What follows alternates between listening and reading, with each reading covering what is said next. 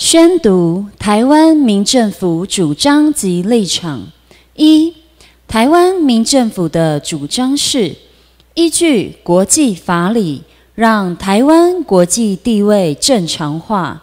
日本天皇保有台湾所有权，美国总统握有台湾占领权。美国总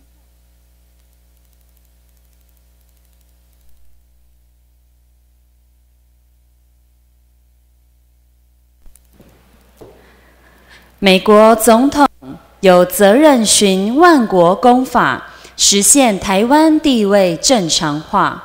二、台湾民政府的主张是遵守国际法，包含万国公法、国际战争法、旧金山和平条约。三、台湾民政府的立场是不使用暴力或武力。促使各种方法使流亡中华民国结束在台湾的占领。四、台湾民政府的立场是对中国殖民政权、流亡中华民国政府推动的事务不合作也不配合。全体请坐下。现在，让我们用最热烈的掌声欢迎我们第一堂课的讲师徐格林讲师。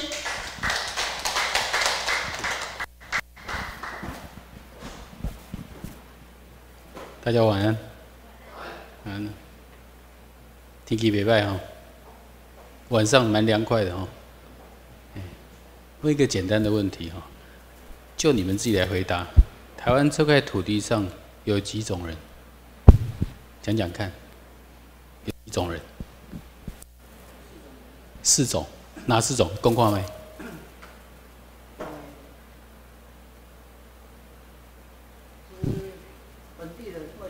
本地人、外省人、客家人，还有山地人，还有没有？哎，男人跟女人，很有意思哦。外公，你刚才那个分类方法，第一次刚刚讲的那个分类方法，够严重，改一改。台湾这块土地上哦，只有两种人，啊，哪两种人？你知不知道？你猜猜也猜不出来哈。你如果认为台湾这块土地有本省人、外省人、山地人、原住民，那种就是按照国民党讲，我们土地上只有这种人。哎，等一下，我这个它是怎么样上下？啊，有没有看到跑出来了？台湾这块土地上只有这两种人：占领者跟被占领者。村内起中华民国流亡者要把你洗脑，要给你改的。啊，我先不讲那么多，你们第一堂课才来哈，搞不清楚我在讲什么。这堂课原来的意思叫做台湾史解码，台湾历史的解码。你知道解码是什么吗？哈，本来是乱码，看不清楚，把解码看得一清二楚。同样，台湾的历史你要去看的话，看得不飒飒。但是有这两个名词把带进你脑子的时候，一下台湾的历史看得一清二楚。啊，什么叫占领者？什么叫被占领者？你知道？什么时候会产生占领者？什么时候会产生被占领者？战争嘛，哦，啊，占领者是谁？通常是从外面来的，不会是本地人嘛？一定是原来被占领这块土地以外的人，因为打败你就跑在你家给你剪掉，那叫占领者嘛？占领者不会是自己人嘛？对不对？一定是外面来的人占领你，啊，你有这种讲的叫被占领者。英文叫做 occupier 跟 occupied people，哦，这两种。啊，讲这个先有概念，我们再慢慢讲。那现在有几个简单的问题哈，我问啊，占领者现在哈，因为全世界在过去历史里面都有占领、被占领哈，请问哈，占领者一旦占领之后要占多久？是不是？给你减掉要减哪步？啊？永久？占领就不走嘛？还在说减掉减嘛？哈啊，好不容易我打了一场战争，打那么久。啊，死偌济人啊！结果我来讲了，我都在造，那我一关代志哈。他会想办法站越久越好，对不对？那还有另外一个，这没有规定哈。但是还有一种情况是，占领者啊，我乃都要了就得功夫，甲你讲一阵，我会叫别人替我讲，会使袂？如果我自己来比较辛苦嘛，或者派几个代理帮我管就好了啊。时间我要挑，就像我买一家公司，如果我还要下去经营，就很辛苦。我花那么多钱，我就采一个代理人帮我管那家公司嘛，吼，这样合理嘛，吼。那这样子先跳几个观念就好了。啊，这个就是所谓的占领者，有没有？哦，我卡亏亏的吼，很霸气，对不对？他是占领者。啊，我们先来研究，台湾是不是占领者？那台湾人是不是占领者？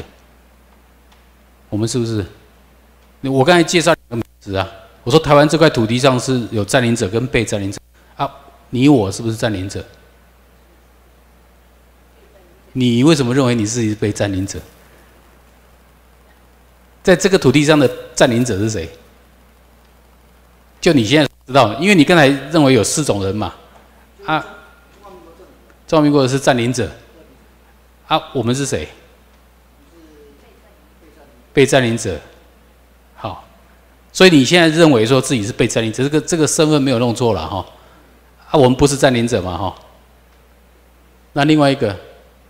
占领者是中华民国，对不对？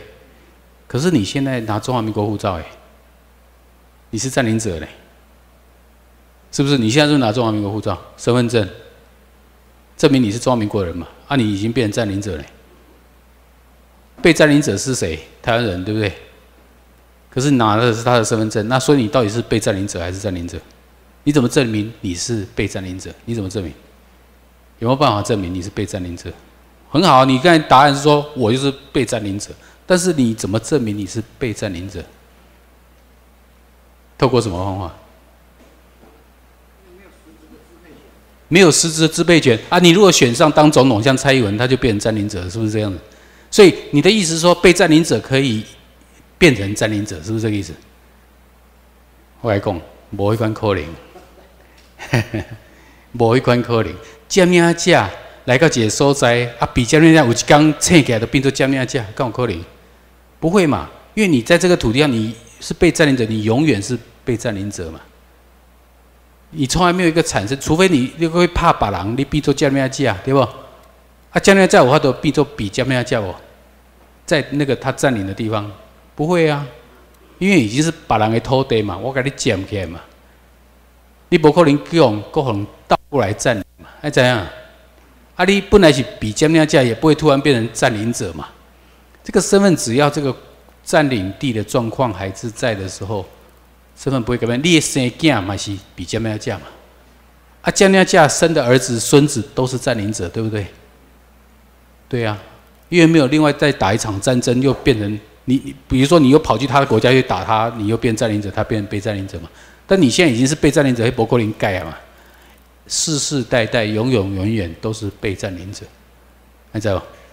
啊，想说现在我度假工啊，那突然间你去拿他身份证、拿他的护照，你就以为自己是占领者，唯一的可能是什么？用骗嘛，被骗了嘛？你懂吗？你真的你也没打过人家，你你跟我刚刚怕，刚刚征服过没有嘛？从来没有啊，为什么会变成占领者？就因为他发给你一个身份证，你就变成占领者，所以他不成立嘛？按这样嘛？所以你拿那个中华民国身份证，在某种程度上更不无效的，但是你你改给认为是的啦。它本身是对你不产生效用，它可以送给你啊，但是你不会实质上你不会真的成为占领者嘛？好像你伫路边捡捡的是一个上校的还是少校那些 mark，你给挂起来。你就变成军人，变成上校嘛？不会啊，不会吧？或者拿一个哪个公司董事长的名片，你放在身上，公我的是大姐当公司也当属长，会不会就因为这样变成是了？不会啊，因为你本质上还不是嘛，对不？啊，台湾人不会因为去领了中华民国护照，你都变做加面价。所以当初这个就是很，我现在只是点到哦，先不讲太深哦。来，我们直接再讲一个故事。什么时候会产生战争？什么时候产生占领者跟被占领者？建金的喜尊嘛，对不对？那所有的战争都是一个部落跟部落打来打去嘛，就是一个相同利益的团体跟另外相同利益的团体互相战争，才会产生这个结果嘛，啊，好，听我讲故事。我们现在来讲故事，不要讲太深。来，人类哈，从古到今哈，一开始都用什么形式出现？就是部落形式。部落你知道吗？什么叫部落？部落就是好几个家庭共同的打猎的范围，对吧？或者是喝水的地方，或者是种植的地方，住在一起，变成一个部落，对不对？因为只有一个家庭太弱了嘛，然后现在就开始欺负嘛，所以他会好几个家庭各会并且几个部落，这是人类最早期的社会形式，到处部落嘛，哦，知道啊？部落有大有小，对不对？啊，部落以他这个部落的利益为优先嘛，啊，如果这个部落跟别的部落隔壁部落小肚点呢，碰到在一起会怎么样？部落跟部落之间呢？比如说我我的势力范围嘛。啊，你有你的势力范围嘛？啊，总是有交错的交度丢有西尊嘛？碰到会怎么样？打仗两种情况，打仗是其中一个，另外一个什么？谈条件，搞周会对吧？我们两个部落加起来比较大，就没有人敢欺负我们，好不好？我们不要打仗嘛，打了会死人嘛，哦，大家都会受害嘛，对不对？那我们谈条件，酋长跟酋长之间交换条件嘛，对吧？那我们这样比较大，那边国家很一的国家大部落，我们就可以对付他了嘛。所以两个情况，要么就修正嘛，阿波吉的合作会嘛，啊，撸搞的多嘛，对不对？你越大，你就势力就越大，就没有人敢欺负你，对不对？所以很多部落解到最后变什么？小的王国，对不对？部落撸给撸多了，就变成小的 kingdom 王国，英文叫做 kingdom。啊，王国跟王国越结越大，变什么？变成像国家一样，对不对？像德国以前是普鲁士，有很多不同的部王国嘛，啊，最后变成德国嘛，没错吧？美利坚也是不同的州嘛，state，啊，英国也不同的国家，最后也叫做大英国协嘛，对吧？很多国家都是最后撸来撸多啊，啊，如果还不够大，会变成联合国这种，每个国家都最后会，对吧？形成一个游戏规则嘛，保护大家一起的利益嘛，对不对？所以现在的社世界上都是到处在结盟嘛，比如说我跟你合起来，我们叫做 Asian country，就是亚洲经济合作的伙伴嘛，对不对？然后有的人是 TPP，就是美国太平洋共同合作的伙伴嘛，对不对？啊，中国也来玩了一路一带，也是另外在 U 也并友嘛。啊，欧盟各洲会是不是欧洲联合在一起？也是一种不同国家合在，有法国有德国把欧洲所有国家口洲会嘛。他发觉中国市场那么大，美国又那么大。啊我们欧洲如果分散很多小国家，没办法跟他玩嘛，所以他们也变得很大的，对不对？那再不，这可以解释我们现在的现象嘛，对不对？部落啊，小度的小台没有错啊，贵体过去哈，部落跟部落杀来杀去的，通常是怎么个杀法？你知道吗？通常哈都是全部灭掉，一个部落把另外部落打败之后，他全部给你杀光。为什么要全部杀光？你知不知道？为什么要全部杀光？斩草除根，那为什么斩草除根？怕你跑出去又报仇嘛，对不对？跑出去过几年又变成一堆人又回来打我嘛，对吧？啊，那会怕被抬又抬个清气流流，不会给你剩活口，对不对？可是久了以后这样不对呢，全部杀光，啊，我土地是不是变大了？我把本来那一组的土地都吃下来，我土地变大，对不对？可是因为战争，我人变少，对不对？啊，我是不是更辛苦？阿拜要顾这么大的地方，我人不不够嘛，所以怎么办？他选了一个方法，我只杀另外部落里面看搞看跳砸波我这边抬，老弱妇孺就不要杀了嘛，对不对？与我无害嘛，对吧？我就把他抓过来做什么？努力啊，很好啊，对啊，这是部落战争嘛。人类历史上是这个部落战争哦，都是为了共利益嘛，吼，结合啊，对吧？女生啊，小孩子俩社会做什么？叫他做什么？到田里面去工作嘛，对不对？所以每天自由，就是每天辛苦工作，然后吃饭、睡觉、唱歌、跳舞。奴隶就是做这种事啊。奴隶是什么？本来你这个部落你有效忠对象，六节桃，对不对？比如说你这个部落有一个头嘛，啊，我效忠酋长，效忠什么这个部落嘛。可是你一旦被灭掉之后，只有老弱妇孺跑去的时候，就没有效忠对象嘛。你好像只有一堆身体，一些人民跑掉了嘛，对吧？就你来当奴隶嘛？立资本资本基本上来供得起没有头的人嘛？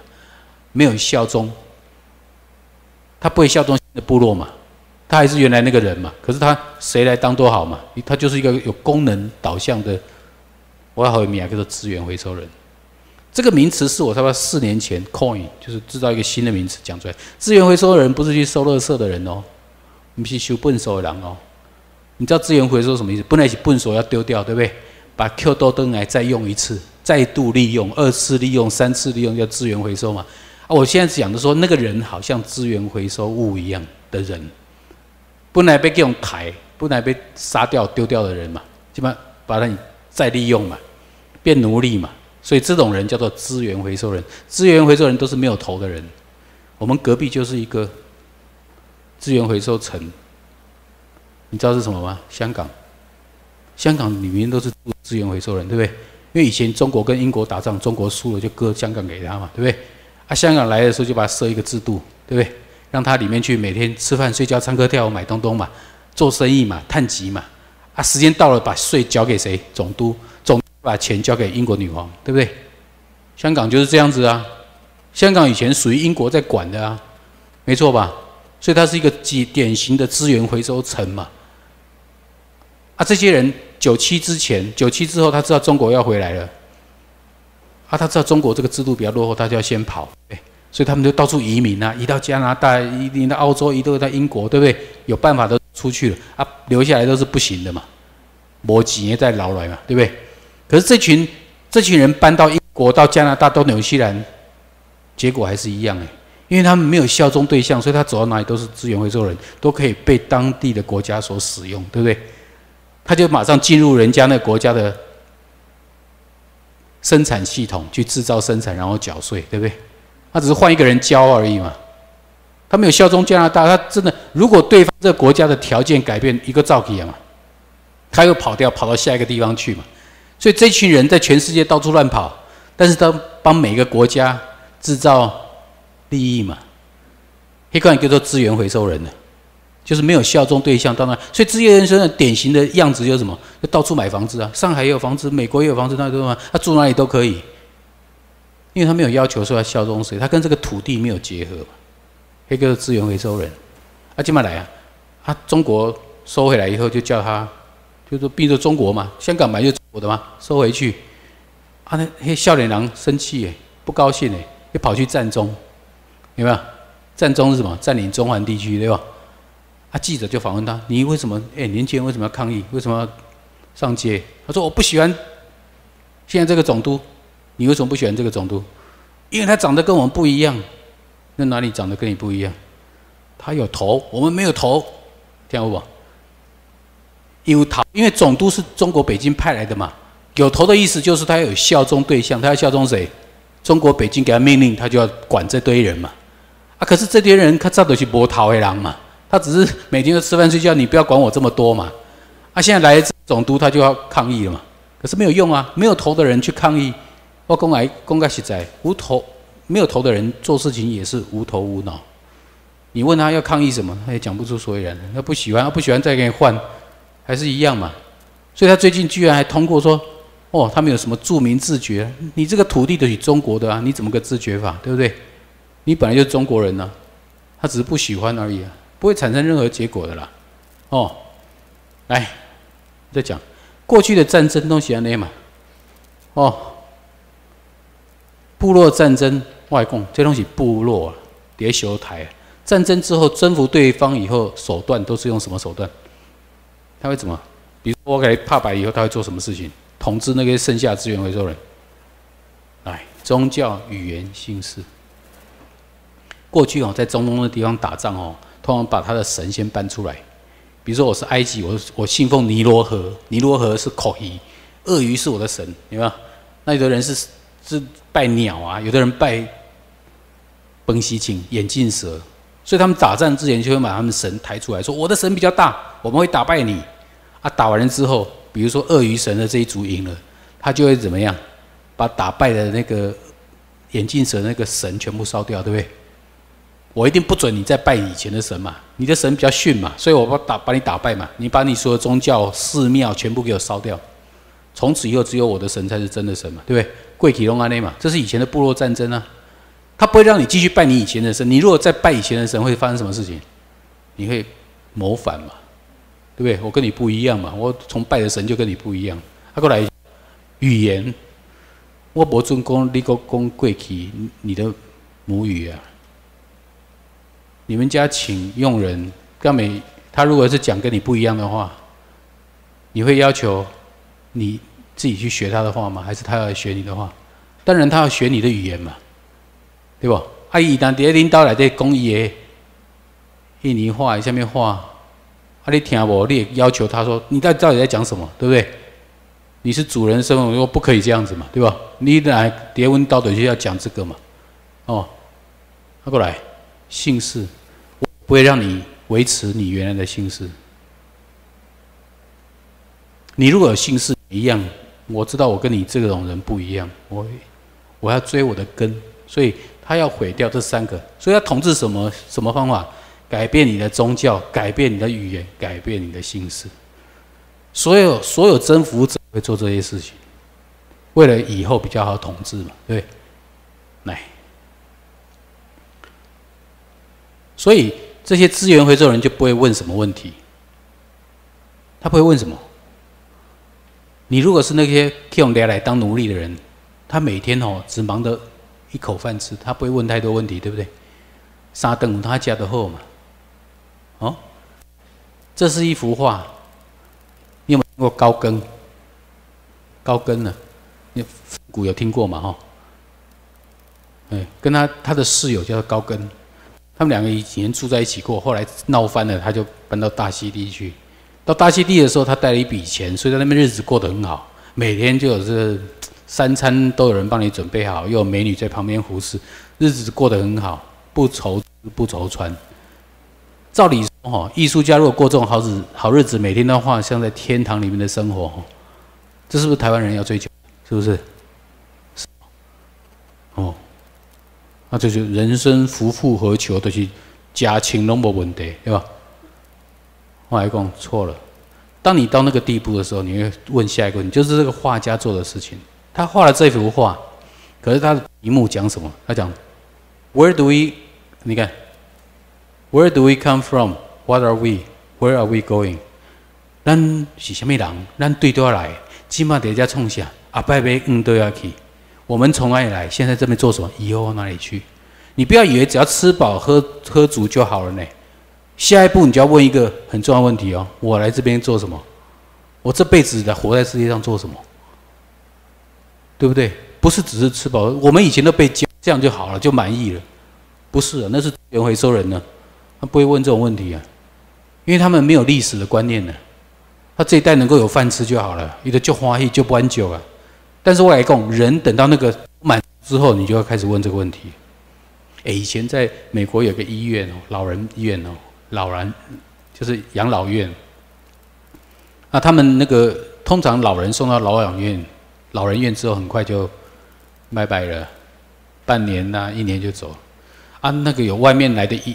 那个算是研究团队进去这个医院里面，想要改善这个医院的这个存活率啊，他就研究，就后来里面有个心理学家，就帮他们做一件事情，什么事？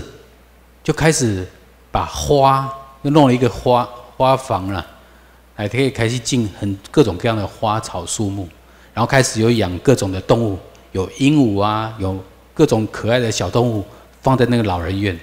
所以这些老人就开始有一些事情要做了，每天可能要在喂鸟，做，就没想到不到一年之后，所有的老人身体变健康了，啊，寿命延长比较久，几年下来累积的结果是这样，这是什么意思？这样，这个告诉你一个讯息，就是当这些老人发觉他自己活着是有意义的时候，他想活得更久，因为他人生产生意义嘛。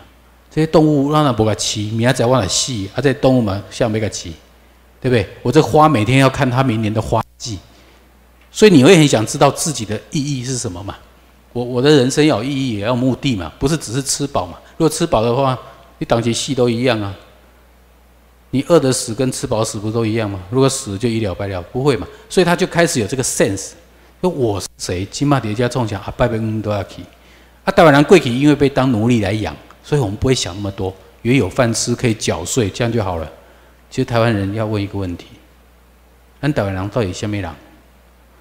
我们的祖先怎么来的？啊，今晚我到底是谁？那个字叫做 identity。你先要知自己是谁，你才知道你活的有没有意义。我刚才讲哦，当你出生的时候哦，你北部也来讲啊，你是林家的第一个长孙，还是你是第二爷？哦，还是讲你是阮的查某囝？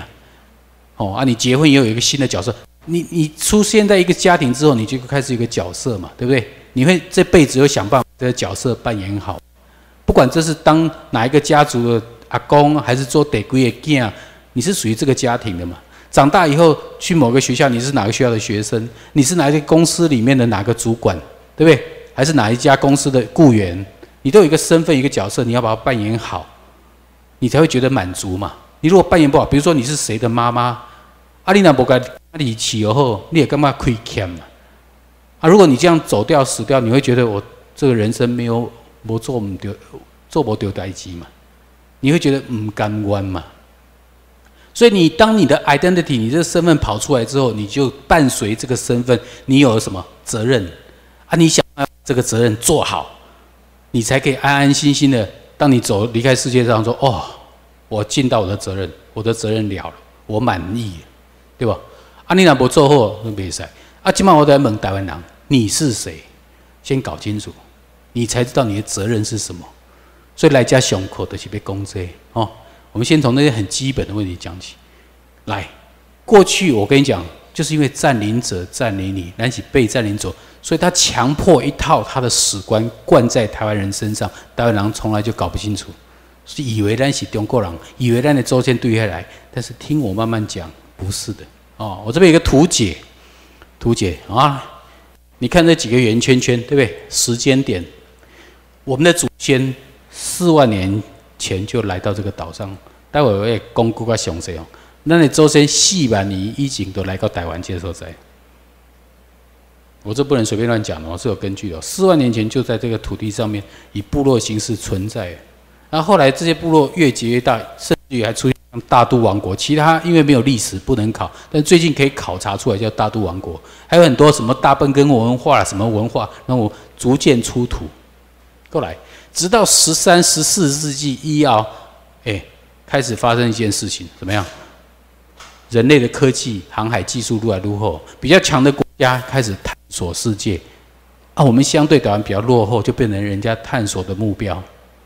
探索什么？有什么更多的资源？有什么后康没改铁造嘛？所以那些人叫什么？掠夺者，那个字叫做 predator。掠夺者就是公姐个抽哈，就是男生对女生有性需求，但是不要跟你结婚，趁你漂亮美丽的时候要喜欢你。这就殖民者对被殖民者的态度嘛。当你有资源的时候，我要给你抢，对不对？但当那些资源用尽的时候，我人就离开，从来就不用负责任。所以那时候，我跟你讲，在大清帝国殖民台湾的时候，有一次美国的军队经过屏东外海，啊搁浅。军人就上岸，上岸居然被我们高高扎族的人全部杀光，所以美国就去抗议，跑到大清帝国皇帝那边说：“哎，你那人搞完台赔钱。”你知道大清怎么回答吗？嘿，不喜欢惯的，嘿叫做化外之名，法与不法，由贵国制裁之。那什么意思？就是他就是一个掠夺者姿态嘛。出代志，后康也都没矮啊，那发生什么事情，弄哪个理理理，对不对？跟我无关，你要怎么打要骂是你家的事情，所以 所以因为这样子，我们第一次他居然跟美国签订条约，第一次哦，我们的部落酋长跟美国签订和平条约，很有意思哦，而不是大清帝国签的哦，来过来，这些不同的掠夺者里面有什么？有西日本、西班牙、荷兰、大清帝国嘛，对不对？那这些掠夺者之间会也会互相利益冲突，会打架嘛，对不对？啊，最后谁打赢？大日本帝国啊，对不对？一八九五年是不是甲午战争胜利之后，大清帝国割让台湾、澎湖跟辽东半岛给大日本帝国？外公，他这在读几百年，真正割让不是国家跟国家割让，是皇帝跟皇帝，以前都有国王的啦。所以这割让条约是讲大清帝国皇帝为了寻求和平，把台湾澎湖跟辽东港割给大日本帝国皇帝。收受的双方是一个人呐，皇帝之间交易的。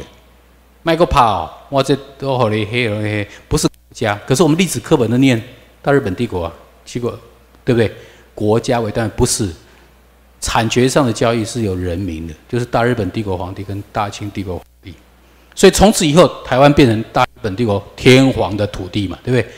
一开始是殖民地，可是他要做一件事情，殖民地哦，因为大大清帝国以下以里面也是殖民地啊，日本把它拿来也是殖民地，殖民地可以割让。你们初级班要念两个概念哈，一个是占领不移转主权，第二个流亡政府不可以就地合法。我等你再慢慢讲，占领不移转主权就是我给它降接收在这个土地的拥有者不会转移。另外身上，先放在心上，我再慢慢讲。大日本帝国拿到台湾的时候，发觉一件事情：，哇，这个大清帝国就要求诶，他割让这个土地，居然有一半不是他的，你懂吗？就好像卖房子啊，邻居房子一起卖给你，啊，你拿到会被气死，对啊。所以日本他发现什么？原来又清帝国的版图只有左半边呐，右半边不是他在管。因为为什么？右半边是高沙族在住，他也打不过他们，就当做化外之民，就拜另外一个地方的人，不在他版图里面。你以后看那个地图就很清楚，大清帝国版图只有左半边。所以日本拿到手上的时候，发现怎么办？他就跑去问美国：“哎，右半边一顶没安动啊？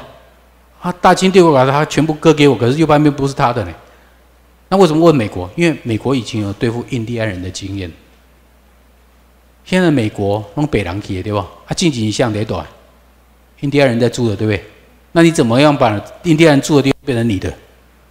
所以美国有个说法叫什么？这个地方哈都是部落形式，还不是个国家啦。你弄起部落啦，那你怎么把它得到手？透过征服的手段，英文叫 conquer，你就把它征服了。所以大日本帝国就怎么样？第一个派他们的贵族跟我们的高沙族通婚，通婚之后土地变他的。那你不愿意通婚的话，就打，看你要不要归顺我们嘛。基本上我讲起来，阿里被听我的话吧，那不爱听跑。所以花了十年的时间把右半边都征服起来。所以十年之后，台湾这块土地第一次建构了主权，就在大日本帝国底下。台湾过去都没有主权哦，都是人家殖民地，还不属于人家哦。殖民地就是我只要资源嘛。但是你如果真的变人家土地，那是要另外一个手续。所以在大日本帝国里面，第一次台湾这个土地建立，也就这么一次建立主权，是在日本人大日本帝国的手下建立起来的。建立主权哦，因为他征服了嘛，征服然后这个整个土地变成大日本帝国天皇的，所以建立了主权。建立主权以后，他一步一步来。还是殖民地性质嘛，对不对？慢慢的，在一九四五年四月一号宣布大日本帝国宪法实施在台湾，颁布宪法就是把你变成他版图一部分，你正式从此以后台湾人民效忠日本天皇，换取日本天皇对你的保护。所以我们跟他关系就不一样，以前是随便人家欺负的女人，现在已经结婚了，我有丈夫了。以前是未婚，现在是已婚。我用这个来比喻啊，这个很清楚啊。以后你跟天皇的关系就是已经就像结了婚一样，互相有 commitment，有互相的约定，就不会被打破了。所以从此，台湾人变什么？有国家。哎，我跟你虽然你跟我是台湾人，但是你是什么国籍？这要讲清楚。这个国籍就叫大日本帝国。我现在讲历史上的事实哦，对你来讲可能很 foreign，第一次听到，但是我跟你讲这是事实。哦哎，那台湾人就想问啊，哎，你说我们是大日本帝国的臣民，那为什么现在是中国人在管呢？为什么是中华民国在管呢？因为二次世界大战又发生一件事情，我们大日本帝国战败了，败给谁？不是中华民国，败给美国，败给美国。美国是真正唯一攻打日本的国家，所以它变成我们的占领者，对不对？美国才是真正台湾这块土地的占领者啊！是美国打败日本大日本帝国的。中国那时候被大日本帝国不知道打哪里，快灭掉的地方啊，他怎么会打赢？没有啊，因为他是盟军的关系。所以那时候美国打赢了大日本帝国以后，就占领了日本本本岛，对不对？北方四岛，然后琉球，对不对？台湾，对不对？这是日本之前的领土嘛，其他算是日本占领的殖民地嘛。那北方四岛就可以叫苏联来占，那台湾就叫蒋介石带他部队来接受投降嘛。但是真正的占领者还是大美利坚合众国，美国总统占领。哦，你这样知道了哈。那他就要求他把过去糟蹋你的这中华民国又把它带进来，再糟蹋你一次。那时候中华民国系统是很落后的哦。那为什么用大日本帝国的台湾那时候是非常的先进的哦？所以它叫帝国，才能跟美国打仗嘛。那时候就有航空母舰呢，不像中国现在连一条一艘像样的航空母舰都还没有哎。大日本帝国在二战的时候，航空从一战就有航空母舰，到二战更多呢，才能跟美国这样子打来打去呢。那是先进的地方哈，来再慢慢讲。Promulgation 就是宣布、颁布一个东西，Promulgation 哈，这是颁制、颁布明治宪法的时候。啊，后来明治宪法实施在台湾，从此以后，宪法能够颁布的地方，一定是他主权给予的地方嘛，他才可以颁布他的宪法。哦，你不会在殖民地颁布宪法啊。你只有在你的领土上颁布宪法，颁布宪法怎么样？你开开始参加帝国的议会了，你可以去派你的参参议员、众议员到日本的国会去开会了。你也开始可以当兵了，之前叫义勇军，之后叫做台湾军。真的大大日本帝国就仅将有军队，我们去当兵是合理的，因为台湾是已经是大日本帝国的一部分。当兵这种事情哦，只有主权独立国家才可以行使的。你们慢慢有这个观念哦，要一个国家才可以征兵，像中华民国这地方这种不可以征兵的，他没有权利有国防部哦。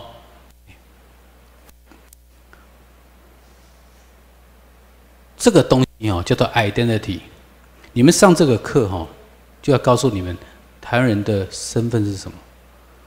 很多人讲我都是台湾人啊，有什么好怀疑的？是我没有怀疑你是台湾人。可是我要问你一件代志：你台湾人，你的国籍是什么？我怎样？我没有挑战你是台湾人呐。可是你的国籍是什么？你讲得出来吗？不是啊，你讲不出来呀，对吧？中华民国是你的国籍吗？是啊。我跟你讲，不是的。哦，所以你们这两个东西，透过我们今天上课要把这个，我们，我跟你讲，如果说你立起下面人哦，是 by blood，你新固定管老也会决定你是哪一种人。可是你是国籍是什么样决定？透过法律决定，国际法。来这张图，来下课再讲。国家地理频道有没有看过？National 国家地理频道有没有听过？蛮有钱的哈，他前一阵子做了一个研究。你你，我讲这个可能你们听没我说一个简单，有一个人财产很多，死掉以后分财产。啊，分料料，突然冒出一个，有一天突然有人按电铃，来一个男生说：“哎，我恁爸爸伫华靠逃生，我马要来分。”啊，你遇到这种人要怎么办？你钦差公公，你要证明嘛？你要证明没有错，在法律上，你要是我爸爸的儿子，你都可以分到这财产，贵要咋样不努力嘛？但是你要先证明你是谁啊？你是不是真的我爸爸的孩子啊？那怎么样证明？啊，现在都用什么方法？验血嘛？验会嘛，把你会丢掉。但是现在不用这么难的，光用棉花把口腔里面刮一下，送到实验就会跑出来。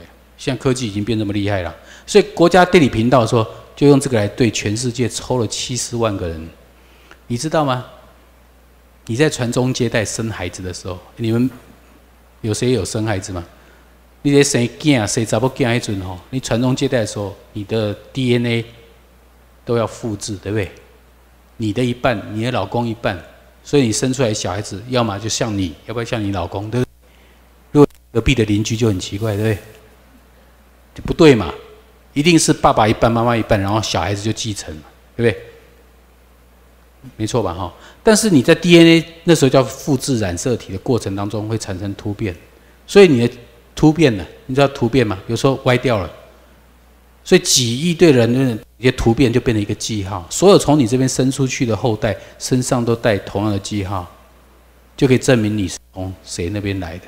所以都好，我我不讲那些复杂。最后透过这些变异细胞，我们把所有人类的迁徙，第一对都照一堆下去，就拉出来。为什么？你只要有这个突变基细胞，从你这边生出孩子都有同一个地方都有突变，那个同样一个点，因为你复制嘛，所以你就知道你谁是你爸爸，谁是你阿公，这样去这样做，所以这个图就跑出来。这叫 Human Migration Map，人类迁徙图。它全世界抽了七十万个 sample 样本的 Q 抽样，七十万个的话，把全世界人从哪里来，往哪里去，跑出来了。你们会看这个线，蓝色、黄色的线啊，它有箭头，箭头就是最后到哪里啊？你哎，到处都有箭头，对不对？有的到南美洲，有的到北美洲，有的到澳洲，有的到哎，最后所有人类从哪里来？你们会看图吗？最后所有箭头都来自于这里，这里是哪里？这里都一样，会不会看地图？这里是非洲，东非耶，所有人类哦，六万年前从东非跑出来，我没有现在随便讲，这是科学证据哦。那个计划主持人叫 Doctor Spencer，他最后结论就全世界现在活在世界上所有人，六万年前来自于同地方。他说有 O 有 B 有有各种人种啊，没有错，但是都来自于非洲，六万年前。啊，六万年前在做什么？我不知道，只是知道六万年前不知道发生什么事情，让这些人开始都离开非洲，远离非洲。那这些人就开始四散，会看吗？最后它遍布到全世界。我们从 DNA 里面查出来的。好了，现在有问题。他说：“老师，你讲那么多人干嘛？你有没有上人类史课？我想知道台湾狼对都要来，对不对？那我们来追一个一条线，叫做 M one seventy four，M 一七四这条线。”你看，从非洲六万年前离开以后，来到哪里？这里是哪里？南也门呢？对不对？中东地区南也门啊，再来跑哪里？这里是哪里？会看吗？地图，印度。哦，哎，你们这样想可能很灰，你就想说，六万年前有一群人离开非洲，西家带眷，他开始走走走，有的人跑到南也门，看这个地方不错，住下来。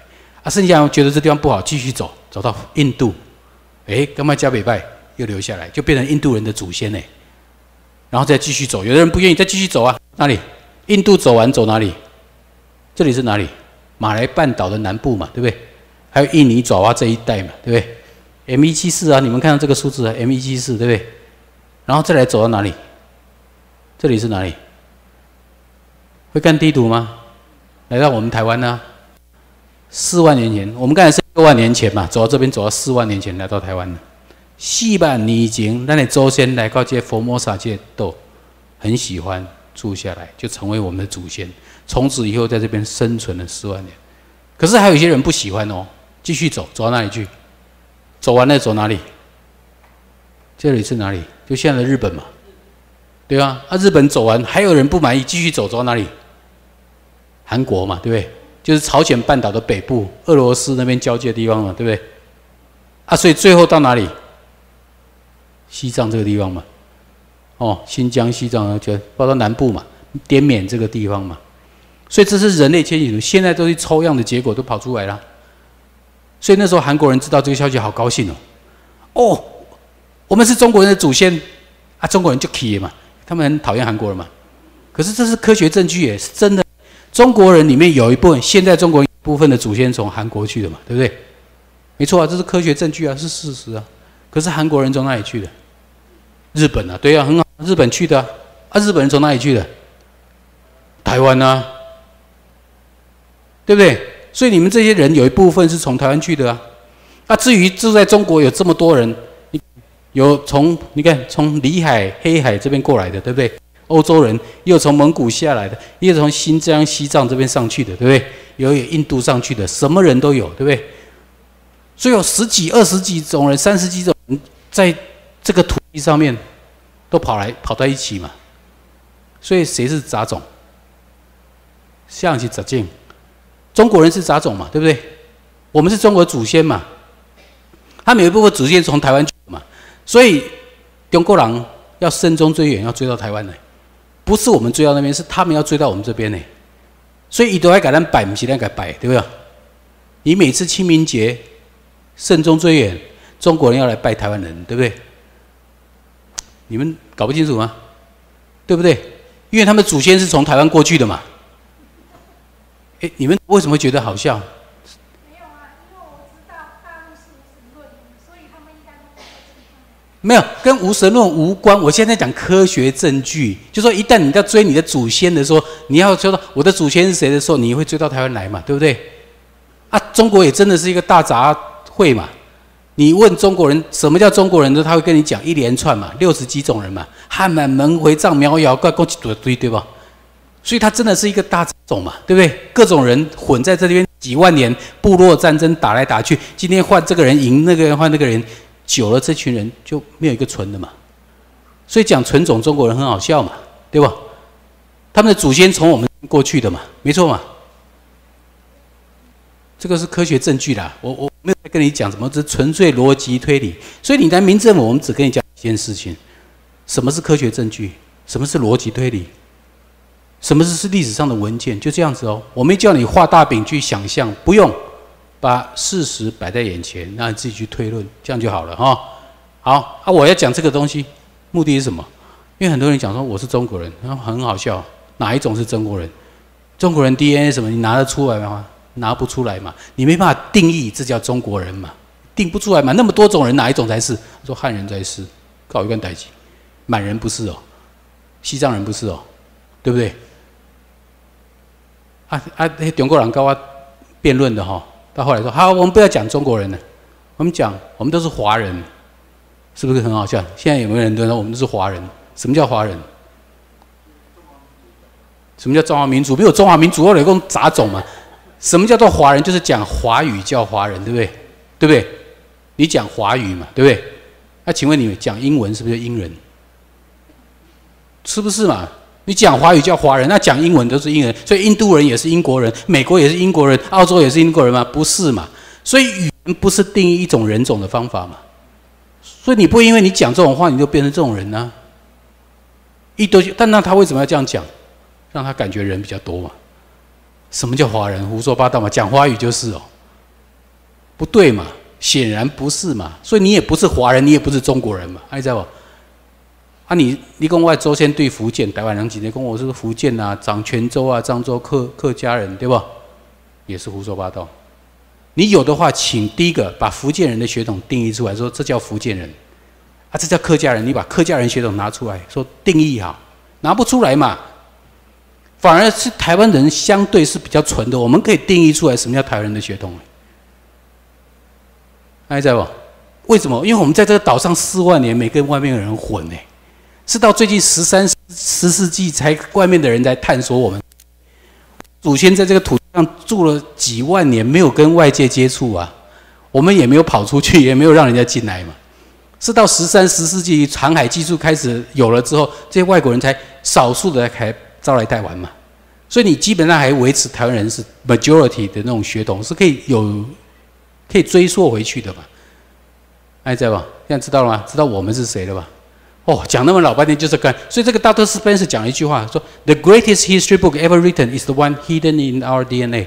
最伟大的人类历史故事记在我们的血液里面，没办法骗的啦，不是写历史课本啊，或者跟你教育，想把它改变你的观念，那就占领者要为了要统治你翻遍。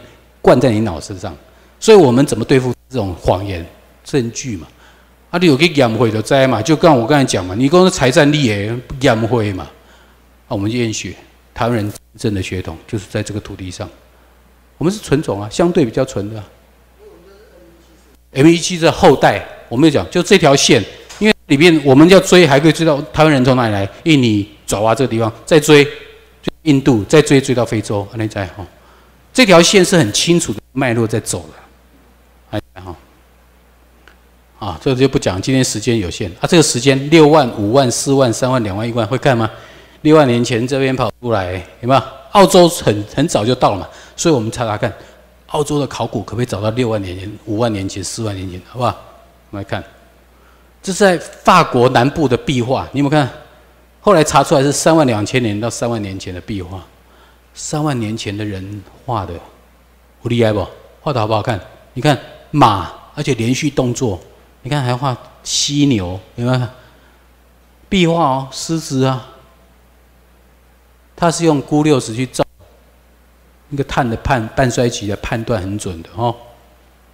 啊，那时候欧洲人挖到这个好高兴，很骄傲说人类从我们这边来，我说在 DNA 还没出来之前呢，法国人刚挖到考古的时候，考古都是以这个做证据来编历史故事嘛。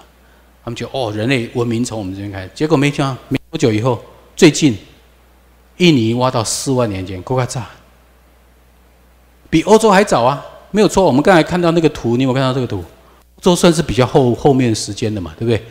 啊，比较早在澳洲哎，印尼啊，爪哇这地方哎，所以我们后来科学证据挖出来就是这样，四万年前就到那边了，还可以挖这是哪里？Indonesia island of Sulawesi Sulawesi，你看，不是斯瓦基兰啊，In Indonesia 啊，啊，你看这里，过去这种动物现在都没看到，对不对？长得很奇怪，对不对？说壁画画这样子。唯一跟它比较像是那个袋鼠而已，在澳洲挖到的壁画，时间点四万年前，这就证明我看张图嘛，对不对？因为你画到考古跟那个有关系嘛。来，看看这个，有没有看过这个东西？有没有看过超人？你们都看过超人嘛，对不对？超人电影很爱看嘛。请问你没有头超人，你有没有看过？没有嘛？你超人电影看很多，可是就没有看过没有头的超人嘛？什么叫没有头的超人？你知道？功能很强大，可是没有效忠对象。还在不？没有思考。我现在讲资源回收人呢，它功能很强大，它可以煮饭啊，就是我跟你讲工作嘛，它可以做得很好的奴隶啊，功能很强大，可是它没有效忠对象。哎，人类自古以来战争之后会产生一大堆的没有头的人，叫做 recycle man。资源回收人呢？资源回收人没有头，可是他有记忆力。不敢相信哦！资源回收人有记忆力吗？我跟你讲，他记忆力多久？好吧？三氯氰胺一个月就一个月，洪仲秋三个月就三个月，阿帕奇两个月就两个月。听得懂什么意思吗？就这群没头人，媒体是他的头，所以媒体有在报，他就记起来了。媒体没有在报，他就忘记了，懂吗？资源回收人的记忆力是从媒体得到的。他叫他去看黄色小鸭，资源人就跑去看黄色小鸭。大家哈，你懂我在讲什么？来，你们来台湾民政府接受训练，目的只有一个：我们希望你们来当民政府的官员，对不对？以后来带领台湾百姓。那我请问你们在座各位有没有当过一千人、一百个人的公司以上的陶 K？没有，对不对？没有吧？上次有一个同学举手，哦，一千人，我说你在哪里当啊？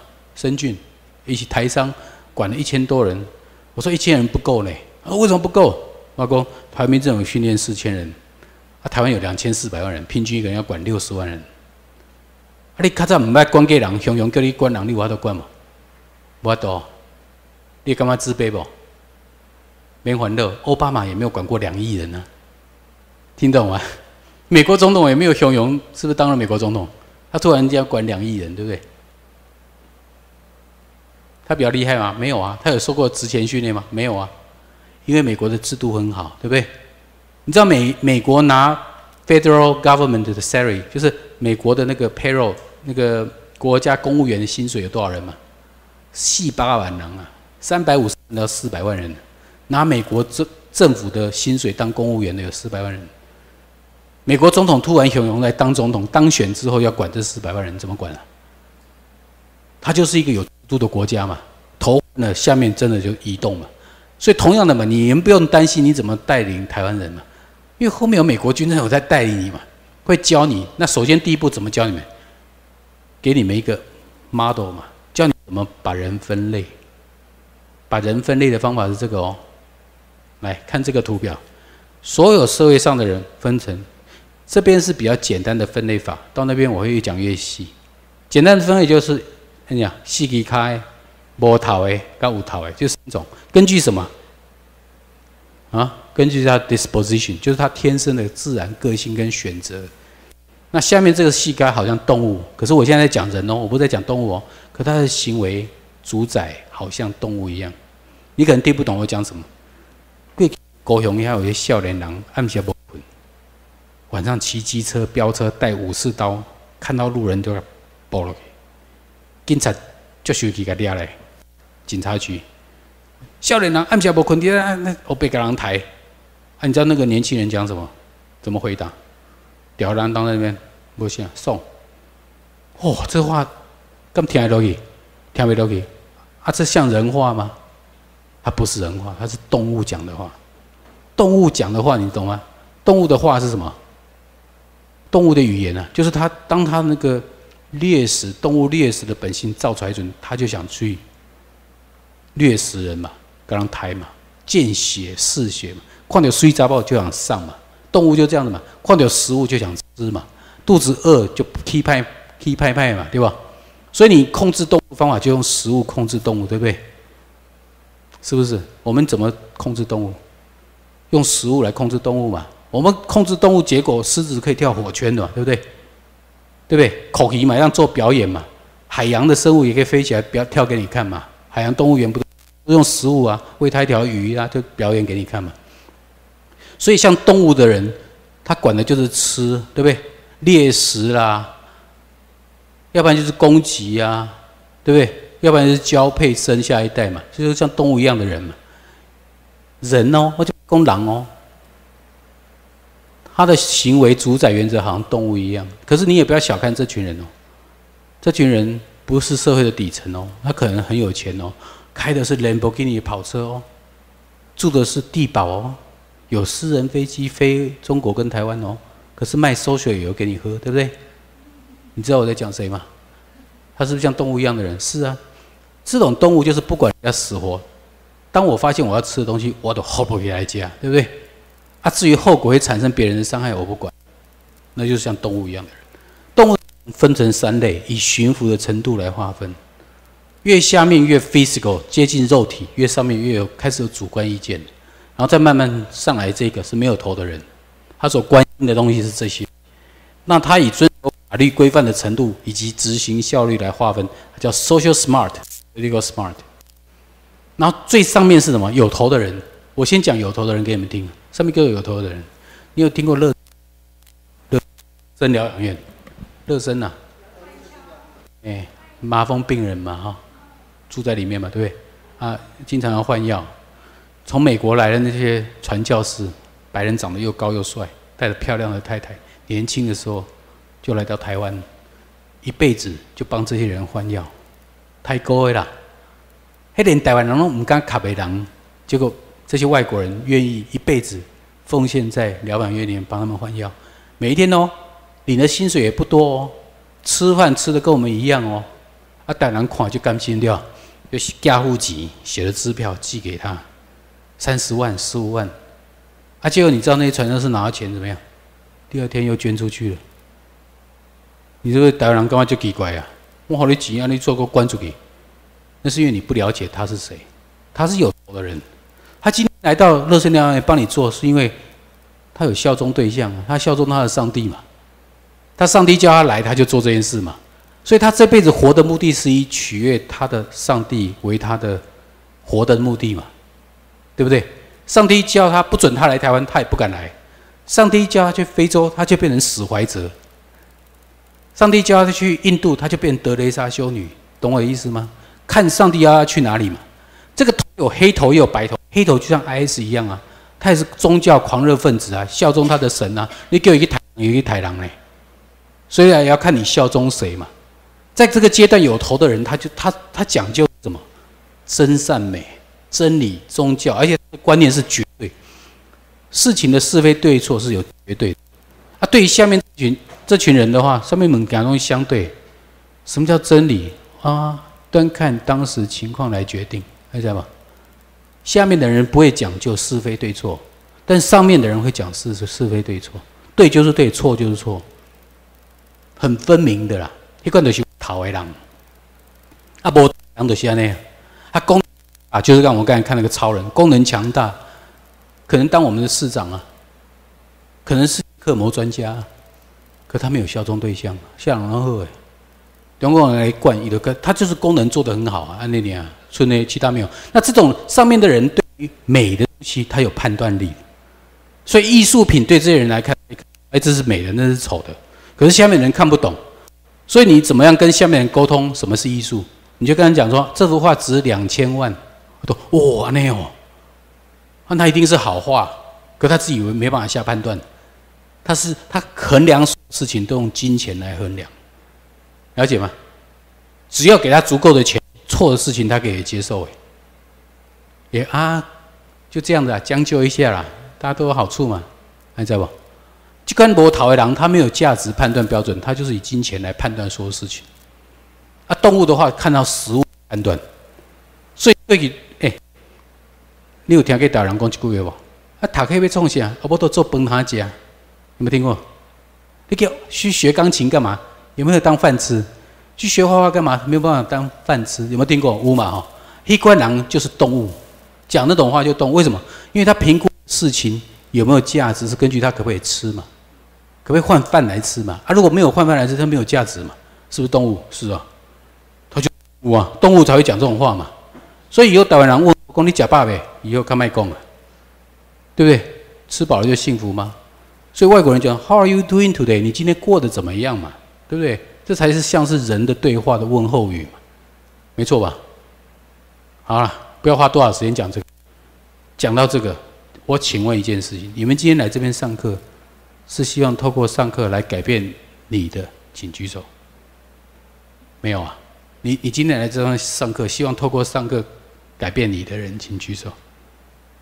希望透过上课，没有啊？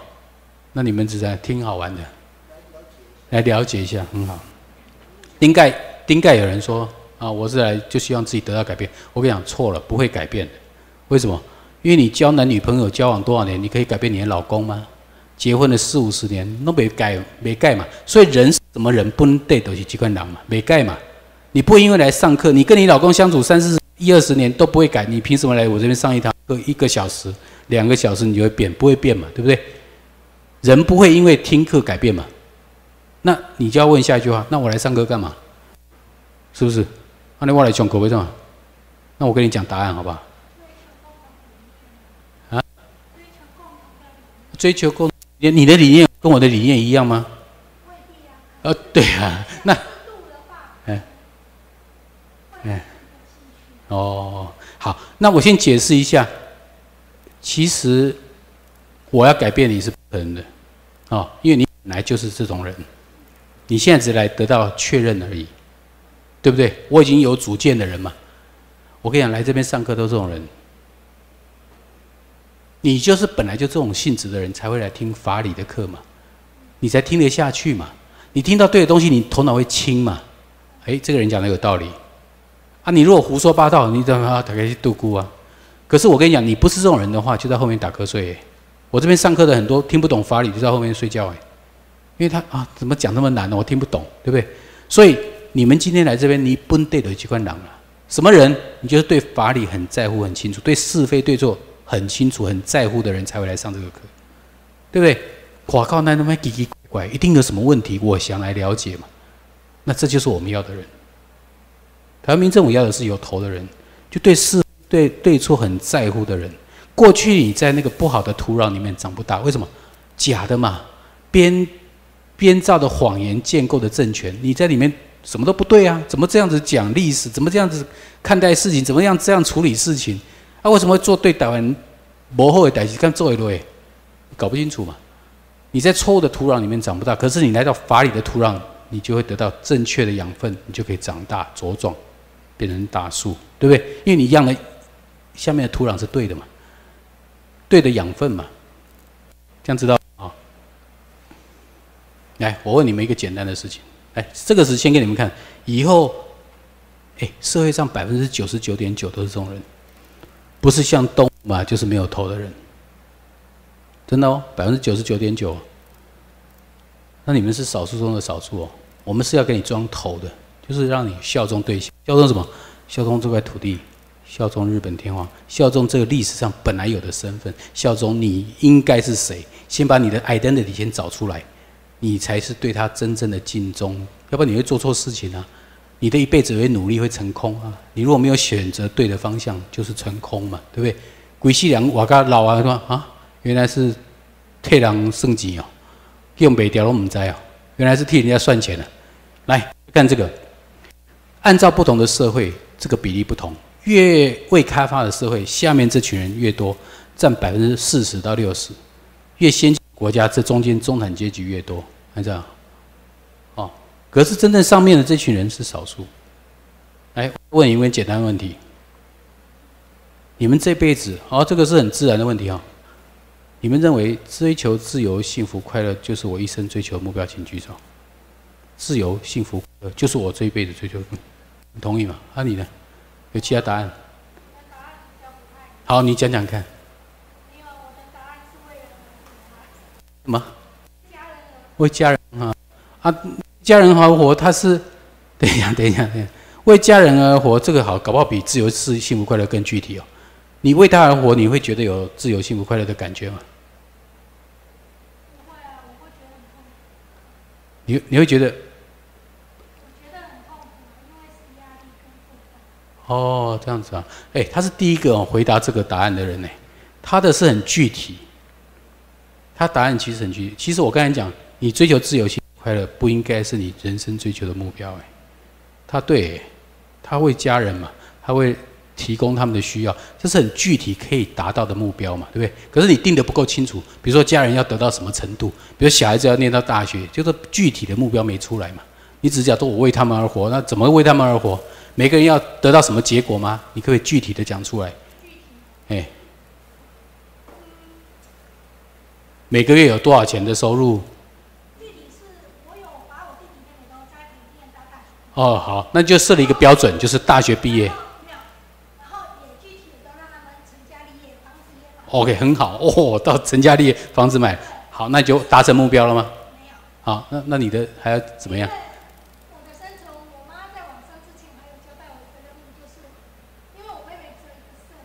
哦。然后有可能要洗肾，哦，在最后我可能要捐肝捐肾。哦，要捐肝捐肾，哦，那很具体，这很具体。那我跟你讲哦，刚刚讲说自由、幸福、快乐的人哦，其实你的目标定错了。他这个是很具体哦，达成就是达成，结束就结束，肾也捐了，肝也捐了，啊，就结束了，你的目标就了了，对不对？到那个捐完的那个当下就结束了嘛，对不对？所以你是一个 reachable 可以 go 这个目标是可以达成的嘛？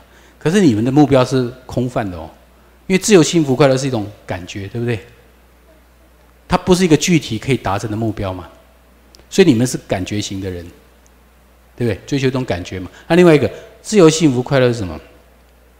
它是副产品，附带有的，是你做某些事情附带而来的感觉。我举个例子啊。如果一个医生说我以赚钱为目标，这种医生你敢不敢去看？不敢，对不对？但是如果这医生讲说我这辈子就是努力的提供病人最好的服务，这种医生好不好？不错，对不对？因为这样，所以他来了很多病人，因为来了很多病人，所以赚大钱。这样可不可以？这样赚大钱就对了嘛。但是如果以赚钱目标的医生很可怕，对不对？盖以后我看贵啊盖，对不对？那这种医生如果遇到不赚钱的事情，他不做了。你那波急卖来看啊，对不对？他以钱来衡量要不要看病嘛？啊，如果这个行，比如说妇产科现在不赚钱，他不念妇产科，他去做医美嘛？因为他赚钱是他的目标嘛，医生只是他的手段嘛，大家知道吧？所以你这样讲到自由、幸福、快乐的时候，你要先听清楚什么是我的目标嘛？我举个例子，有一个女生看到人觉得哇，她好像可以给带我自由、幸福、快乐，我就嫁给他。嫁完以后发觉，哦，这没偷谈，又不努力念书，又不好好工作，啊，算了，离婚再换一个，啊，这个不行，再换一个，这样对不对？不对嘛？照理说，结婚是两个人互相相爱，愿意一起结合在一起共度人生，排偏手知足，建立家庭，一起辛苦工作，对不对？啊，最后爸爸做爸爸该做，妈妈做妈妈该做，小孩子生出来以后好好念书，回到家里，爸妈煮一顿丰盛的晚餐，然后一起享受自由、幸福、快乐的感觉，这样对不对？对嘛哈？因为他把目标设对了，所以这是伴来的一种感觉嘛。它是副产品。啊，你觉得我为什么要这样讲？我想到别人来恭维，因为哈，台湾人很喜欢讲一句话：啊，关东鹤啦，我崩他家，很好啊，对不对？真的，外面台湾人弄喜欢那样，功能导向嘛。像关东鹤啊，那时候有问过啊，我说：哎，你们台湾人是不是很讨厌国民党？他说是啊。你为什么讨厌他？我常说吃相很难看，老公啊，那如果吃相很好看，你是不是就喜欢他了？你懂我意思吗？他说国民党都没有照顾我们好啊，如果把你照顾好了，你是不是就接受他了？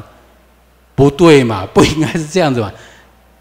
那那句话的，我帮你翻译一下，那个意思就是说有奶便是娘的意思，对不对？你只要有功能达到我的需求，我就认你，给我我给我叫你老北龙也塞，对不对？所以台湾人不这种人嘛，我们不是 physical 生理上需求得到满足我们就 OK 的人。你要先搞清楚他是不是你父母亲啊？今天就算他没有能力照顾你，帮你优起短，比如说他是小儿麻痹或者智障的父母亲，他还是你的父母亲呢。你不能因为他功能不完全，他就不是你爸爸妈妈，你懂我意思吗？我不会因为我家里老辈谁都拜，老部谁都拜，我就不认他是我父母亲呢？第几年搞后起来？不会的。这是一个事实的陈述嘛？你你懂吗？人要有这种应该有的良心的，就是说，你北部就算怎么好怎么不好，他还是你父母亲，这是一个纯对不对？你没办法 deny 的事情。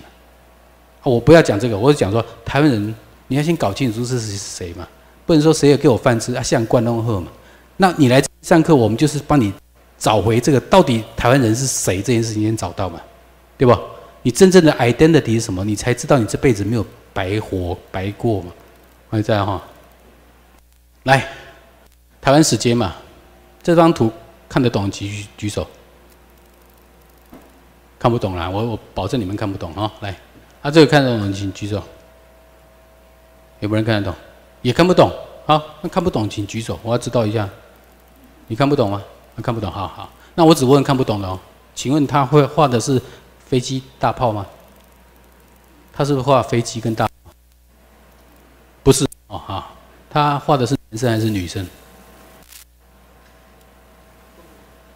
啊，你看得出来吗？男生女生？嗯，那个那那那么大，啊男生还是女生？比较像女生嘛哦，哦好，而且画几个人？这里面画几个人？会不会算？五个？你看你都看得懂啊？你怎么说你看不懂？你知道不是飞机大炮，他是画女生，又画五个人，你看得懂啊？你这个你看得懂看不懂？这就看得懂啊？外公你看不懂？请问他画的是谁？你你你说你看得懂，结果你看不懂啊？你知道是一个裸女啊？她叫维纳斯，请问她在做什么？管小管小孩子不对，那叫做丘克是爱神，他现在大号放赛啊，你今晚也上厕所。问 Toilet of Venus，还在不？你看大白狼是不是很很奇怪？你以为你看得懂，结果你看不懂；结果你以为看不懂，结果你看得懂，是不是很好笑？我跟你讲哦，我解码给你看，好不好？这叫做一点透视法，这叫多点透视法，这个叫做极端的立体画派。啊，这个在一七多少？Picasso 画的啦，上个世纪啊。一七零七一九零七年就画的啦，你阿公阿妈阿做一种维度，你怎么看不？你看我我举个例子，怎么看立体画？这个是不是麦克风？啊，这样是不是麦克风？啊，这样看是不是麦克风？都是嘛，对不对？按那款才是麦克风。这是我，这样也是我，这样也是我。刚没听按那款，不一定嘛。所以时间固定，观察点改变，就产生了立体画派嘛。你这个脸不一定从这边看嘛，这样看这样看，从不同角度看，把它放在一起，就变成这个。现在知道了吗？所以你平常照相的时候，最左边这是传统的，叫一点透视法。我看的时候就这样这样看，不能移动。你一动，你照相的时候一动，是不是就会议啊？镜头不能摇晃嘛，对不对？你要不动嘛，不动就看成这样子。啊，你如果时间一固定，嘟嘟嘟嘟嘟打好几张，把它放在一起，变成立体画派，这样知道吗？啊，这个可是那个观察点越来越多的话，变成极端的立体画派，叫 Broke 画的，一下就解清楚嘛，对不对？现在知道吗？但是不管这三个图哪一个图都是怎么样，有一致性，叫 consistency。记得这英文字 consistency 叫做一致性。我今天来这边穿西装打领带穿皮鞋，请问我右边如果穿皮鞋，左边穿高跟鞋，你觉得怎么样？那你太个派皮啊，对不对？因为你的系统不一致。对不对，这就是我要讲的，系统不一致会变成什么？这种奇怪的话跑出来，嚯，又是这个，又是写实，又是什么？没快嘛？因为他不晓得他在说什么嘛。现在听得懂吗？他系统乱掉了，所以现在我就要讲这个字，consistency。那另外叫 integrity。consistency 是什么？它是存在 the law。先讲法则。什么叫做法则？the law 我不在讲法律哦。法则是放诸宇宙皆准的道理，叫做法则。比如说，在宇宙中有什么？万有引力，对不对？任何两个物件会产生引力嘛，对不对？叫万有引力。在地球上有什么？地心引力嘛。所以你只要住在地球上，你写的建筑法规是不是一定要考虑地心引力？你不是软盖嘛？你有特定的那个建筑系数，或者个重力啊，或者要结构力学都要算嘛。通过我才会让你盖房子，啊不出为斗嘛。那就是什么？尊重大自然，有地球上有地心引力这个法则，没错吧？这是不能改变的东西嘛。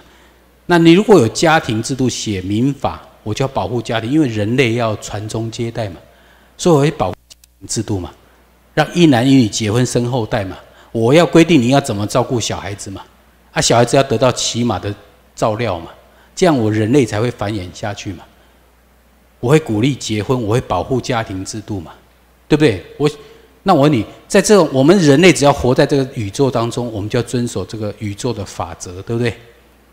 你如果跟他抗玩不一样，是谁倒霉？宇宙会倒霉还是人类会倒霉？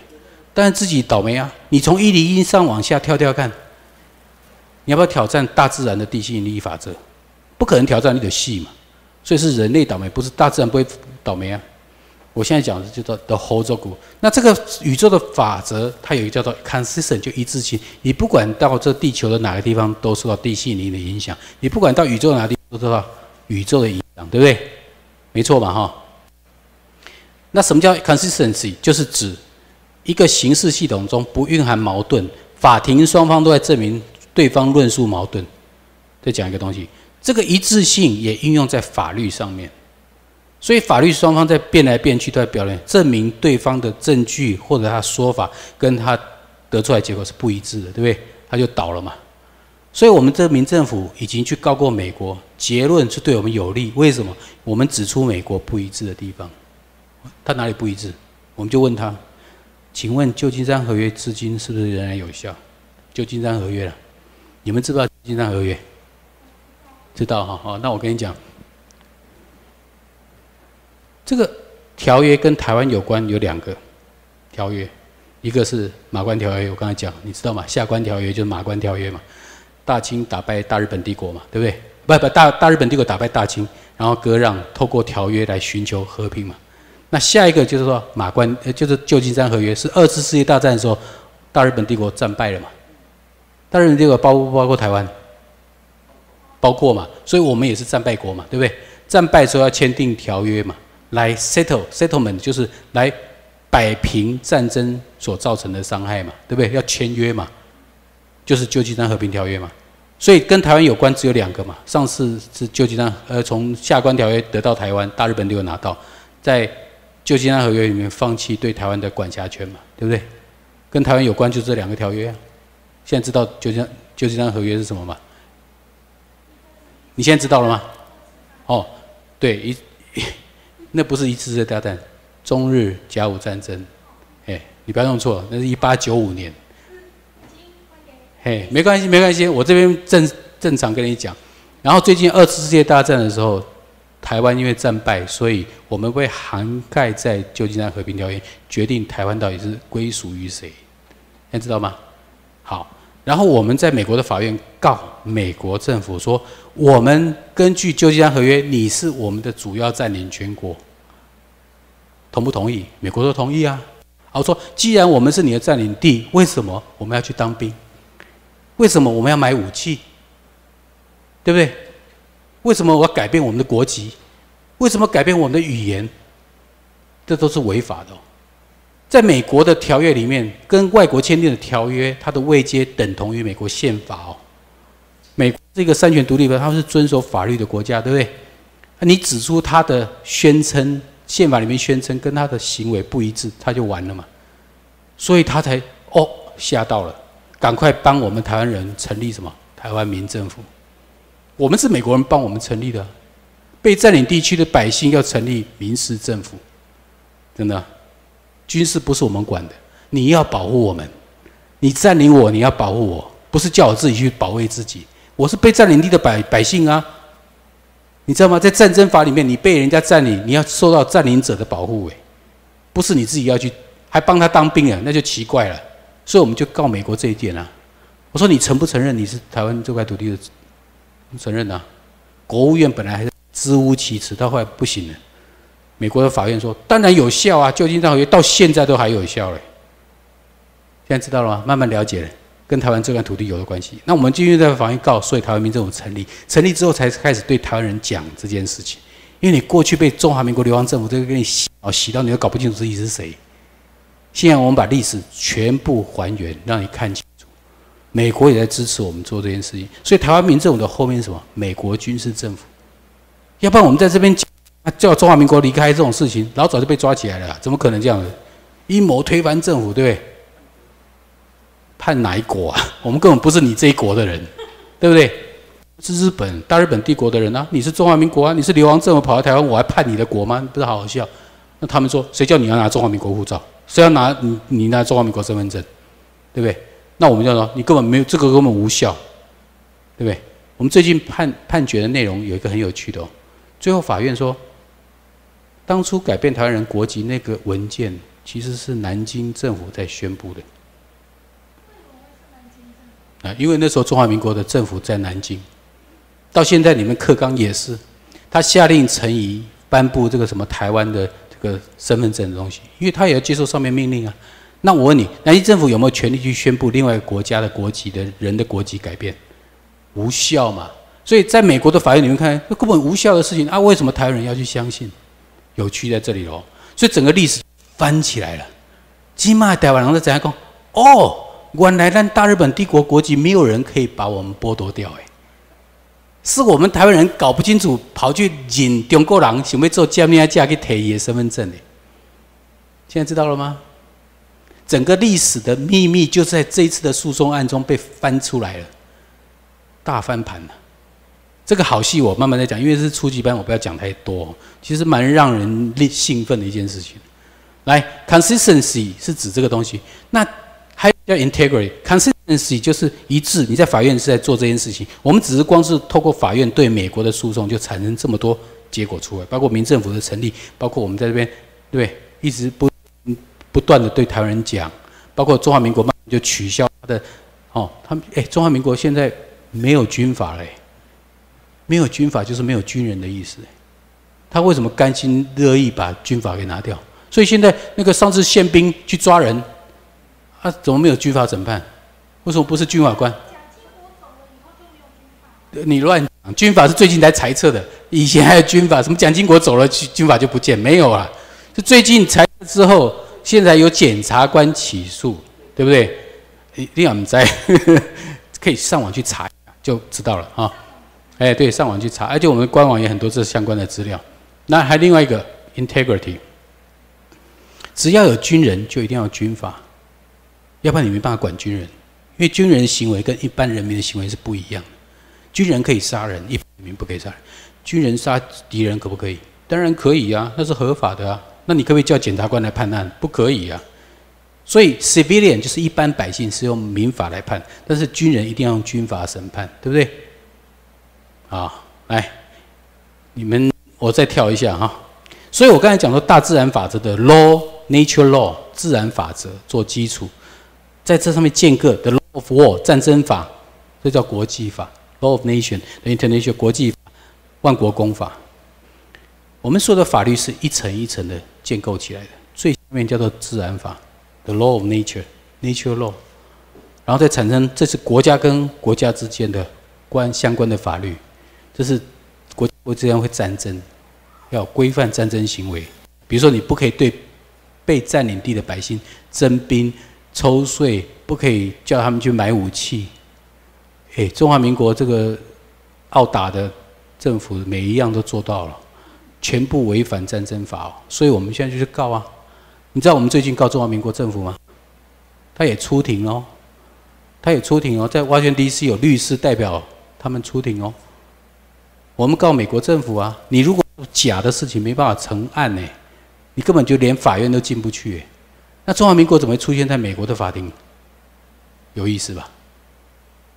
是不是？我们要想一想，我现在不讲太多。然后在这个基础上面，再建构不同 constitution for each nation 不同国家的宪法，宪法之后才有他们的 civil law 民法各种法律。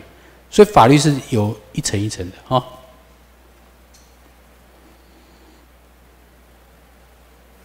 来，今天我在讲艺术史，很多人讲说徐老师主这样的历史都老早就还给老师，不重要了。我说错了，史观很重要，观点会影响立场，立场会左右选择，选择之后会产生行为，行为决定台湾人的命运。我再讲一次，史观很重要，观点影响立场，立场左右选择，选择之后产生行为，行为决定台湾人的命运哦。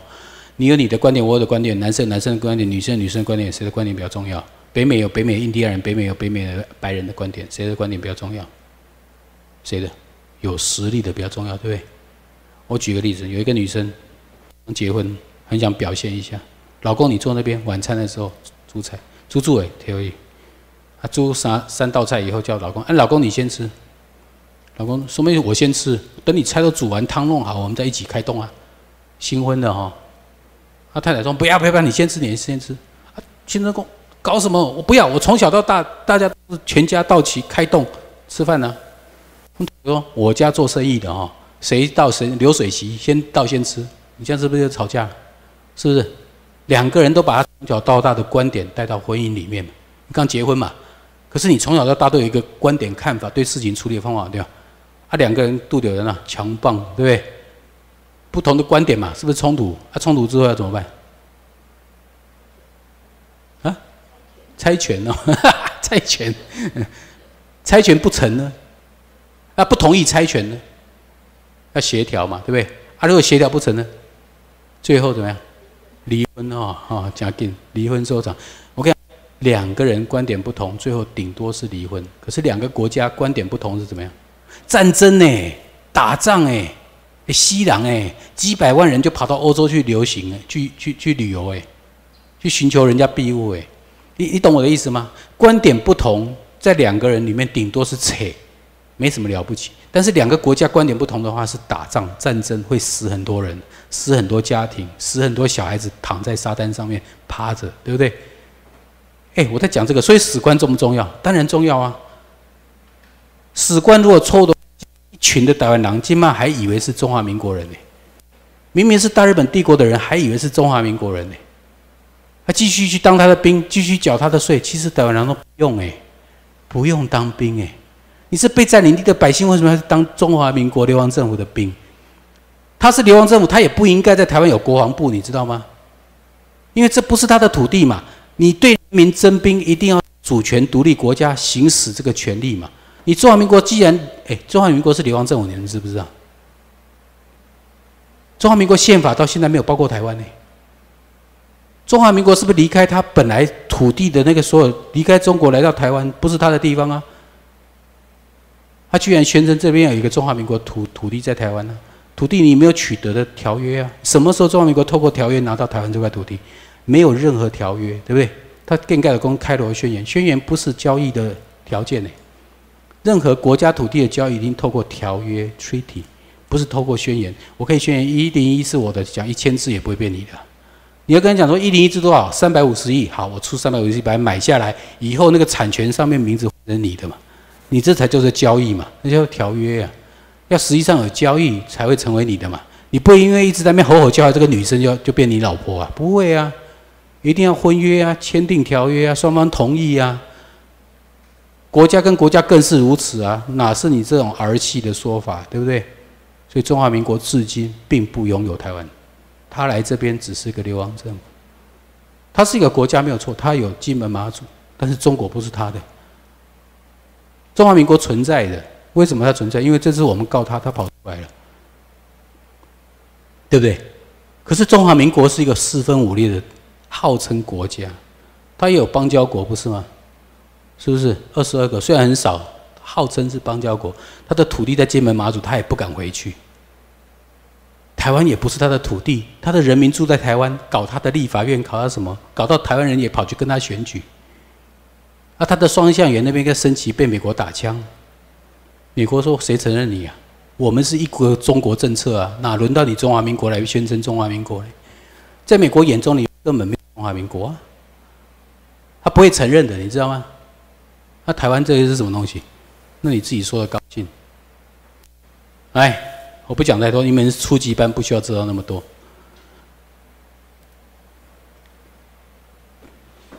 来，我们跳一下。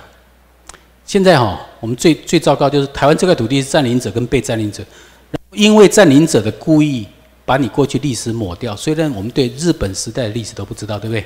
我现在给你们补充一下，好不好？哎，我讲了一个很简单的事情：台湾的民进党啊、国民党都很喜欢讲的。哦，台湾的民主是最珍贵的，我们需要保护它，对不对？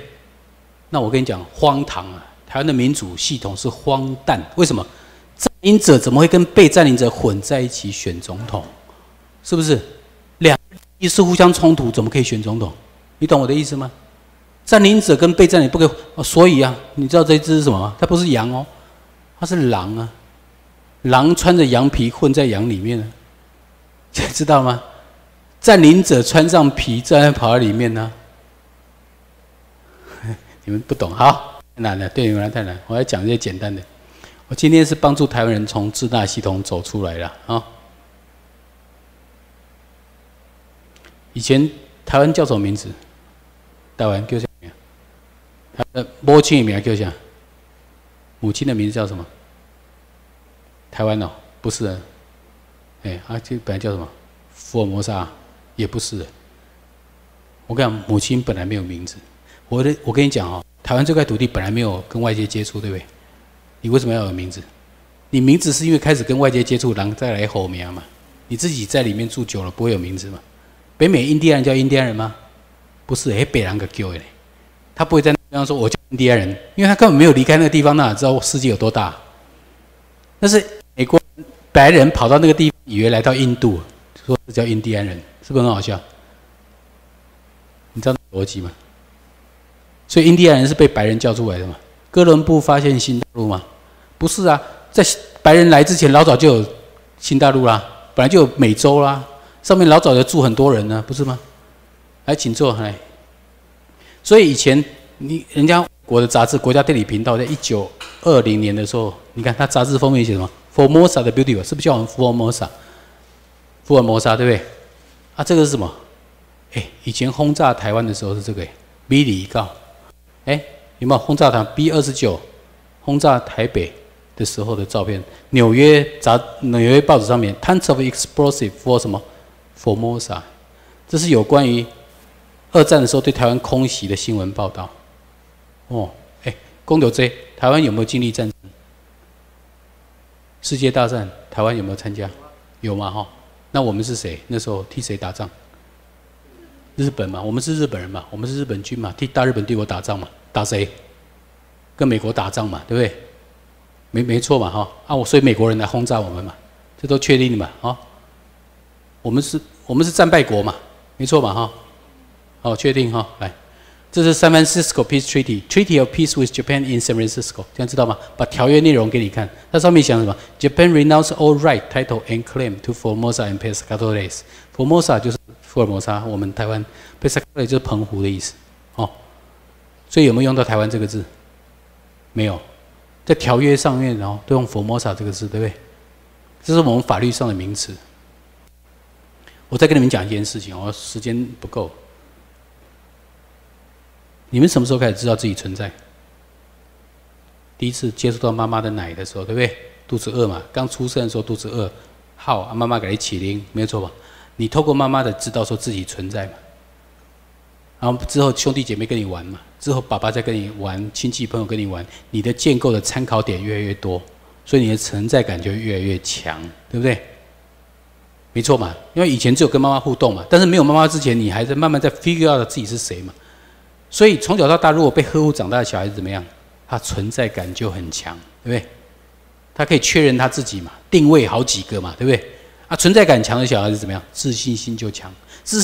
强的小孩子怎么样？学习力就强，因为他有自信嘛。学习力强的时候，他就就可以贡献给这个社会嘛，贡献给家庭嘛，没错嘛哈。但是这个过程当中，如果出了问题，比如说一出生的小孩子在号啊，啪，好被打脸，妈妈不高兴，弹嘴巴，那小孩子会吓一跳哎，因为婴儿的时候还不知道他，我只是有需求，为什么就被打，对吧？所以我那时候到育幼院里面哈，带一些水果、饼干、糖果，带小朋友玩游戏。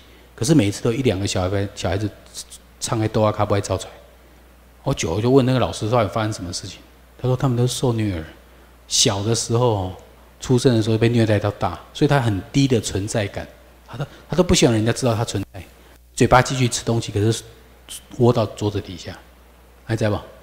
存在感很低的小孩子，他不希望你知道他存在了，因为没有自信嘛。没有见过好的，按照台湾人从小到大就是受虐。我是台湾人，我台湾人讲台湾话那唔对，发惊发急。你们新的一代没有，我那一代是这样子哦。以前你讲台语就要被罚钱哦。对啊，发惊呢，被人家羞辱诶。台湾人无水准啊呢，诶，奇怪，我讲老婆搞怪话呢。所以我们从小都在被虐待的长大，没错吧？我们有低的存在感啊。而我们更糟糕是什么？还被冠一个假的名字在我们身上。我讲我台湾人，不是你是中国人，啊，你是中华民国人，是不是？我给你冠一个龟亚米亚的你信吗？是，你知道为什么是龟亚米亚吗？中华民国是一个流亡政府，他离开他的身体是不是鬼？他身体在中国啊，除非他回去啊，对不对？中华民国是存在没有错，可是他来到台湾变成龟啊，不存在，在台湾存在叫做台湾治理当局。他跑来这边宣称他在这边，那就是一个鬼啊名字啊！来，我再讲一个故事。以前有个地方叫格拉森，哦，在圣经上有个故事，蛮好玩的。地方哦，天然有很多石灰岩洞，人死了以后哦，宝宝宝带那来的后啊，久而久之那边形成一个坟场。那这个坟场一多，你知道死人多，那个东西就多嘛，对不对？某些那贼，某些那贼多了就会怎么产生鬼附身？那边有一个年轻人就被鬼附身。啊，那时候耶稣来的时候，那那个人年被鬼附身的，哎，那鬼先讲那个鬼附身的年轻人，每天不穿衣服，吼吼叫叫的，当地的百姓就觉得啊，这个很麻烦，用铁链把他绑起来好了。结果他又孔武有力，又把洞一下弄断，又冲到外面去吼吼叫叫。所以那时候耶稣来的时候，他就冲到耶。稣的前面说，喂，永生上帝儿子，我时间还没到，你今晚都来先喏，是不叫我准帮，叫我今晚下地狱哦。耶稣没有跟他讲话，只问他一件事情：笑脸，两，你叫什么名？你叫什么名字？你知道那个人哦，在那边发抖，讲不出来。最后讲什么？我叫群。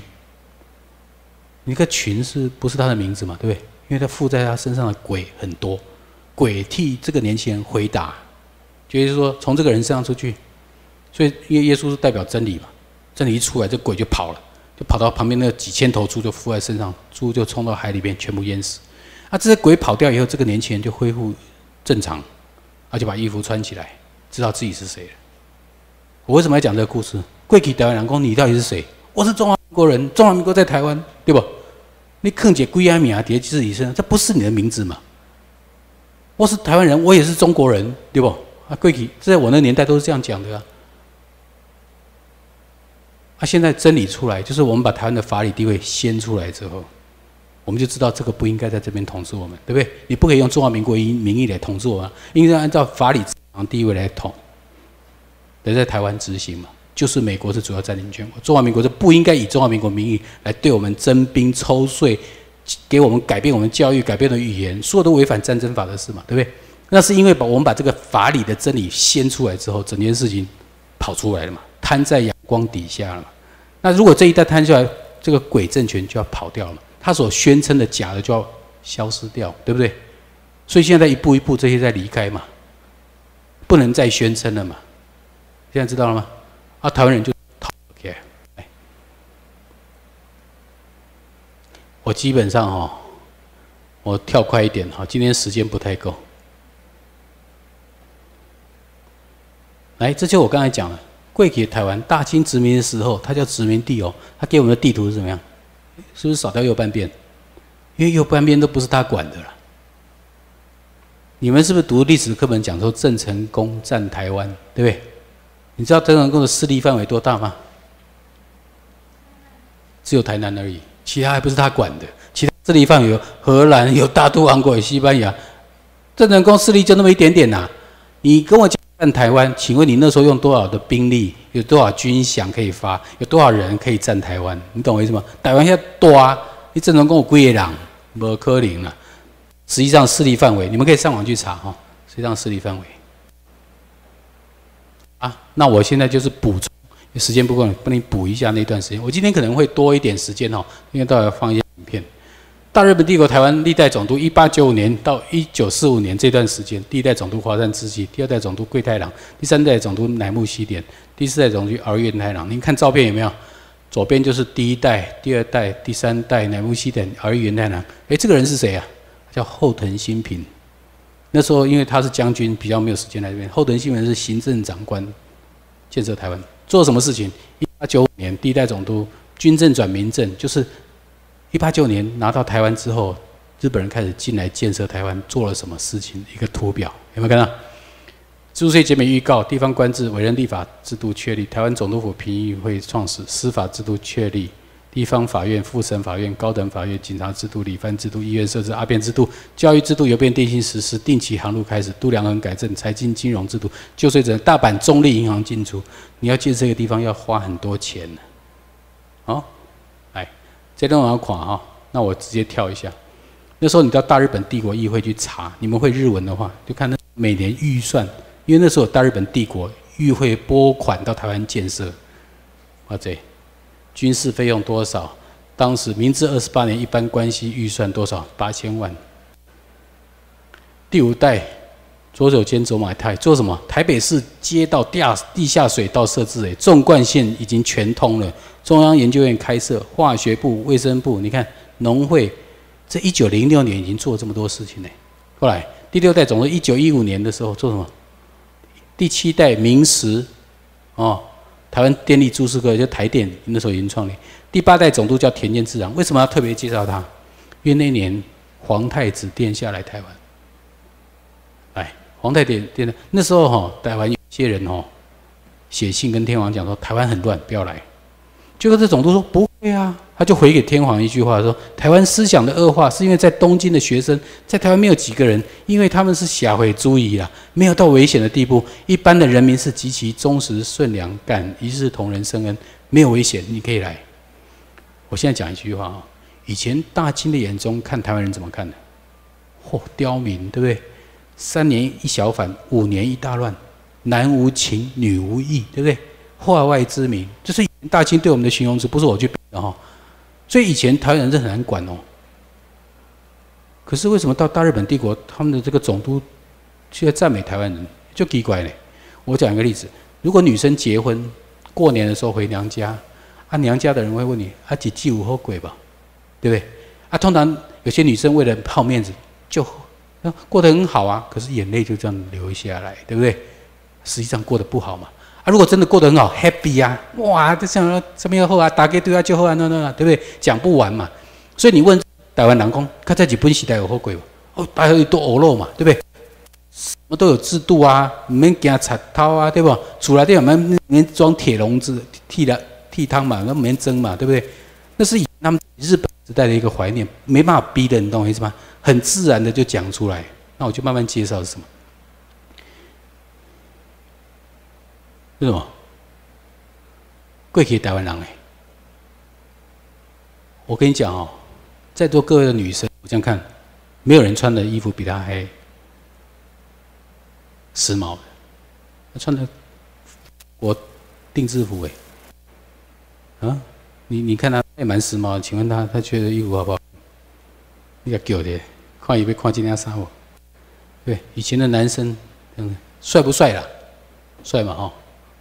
你看那男生的穿着，他们是谁呀？台湾人呢？日本期待台湾人男生长得帅，女生长得漂亮，穿着比现在的人还讲究。来，我给你们看，一九四三年全台湾小学一千零九十九所，小学生九十三万两千五百二十五人，台湾的人民的义务教育普及率达到百分之七十一，全亚洲只低于日本，已达先进国家之列。日本时代是这样子哦。跟过去大清那落后完全不一样哦。日治时代台湾人留学日本，方方奋胜。一九四五年统计留学过的台湾人一共二十万人呢。台湾那时才六百万人不到哎，二十万人出国留学，有没有厉害？刚刚这群人，我给你看，这群人是留学欧美，还不是留学日本哦。我给你们看他的同学录挖出来给你们看，有谁？盐水龙、杨春安、吴喜元、柯维忠、郭那些，这是我亲戚了。然后这个黄朝琴，有没有这些人？他念什么学？念什么东西？美术、化学、经济、神学、政治、医学，有没有？什么地方？You already know, you Columbia，对不对？Columbia University，对不对？You California，有没有？不同学校啊，从法国到各个国家，时间是什么？一九二零年、一九二五到二一九二五年，是不是？哎，台湾人哎，过去是这个样子，台湾人。日本时代是这样的。这里面有一个特别要提的，出卖台湾人叫做黄朝琴。哎，你是日本人呢？黄朝琴后来跟。美国人来占领军，说我是台湾人，也是中国人，就是他讲的。这是一共的呀。我那时候讲说，为什么黄朝琴会讲这种话？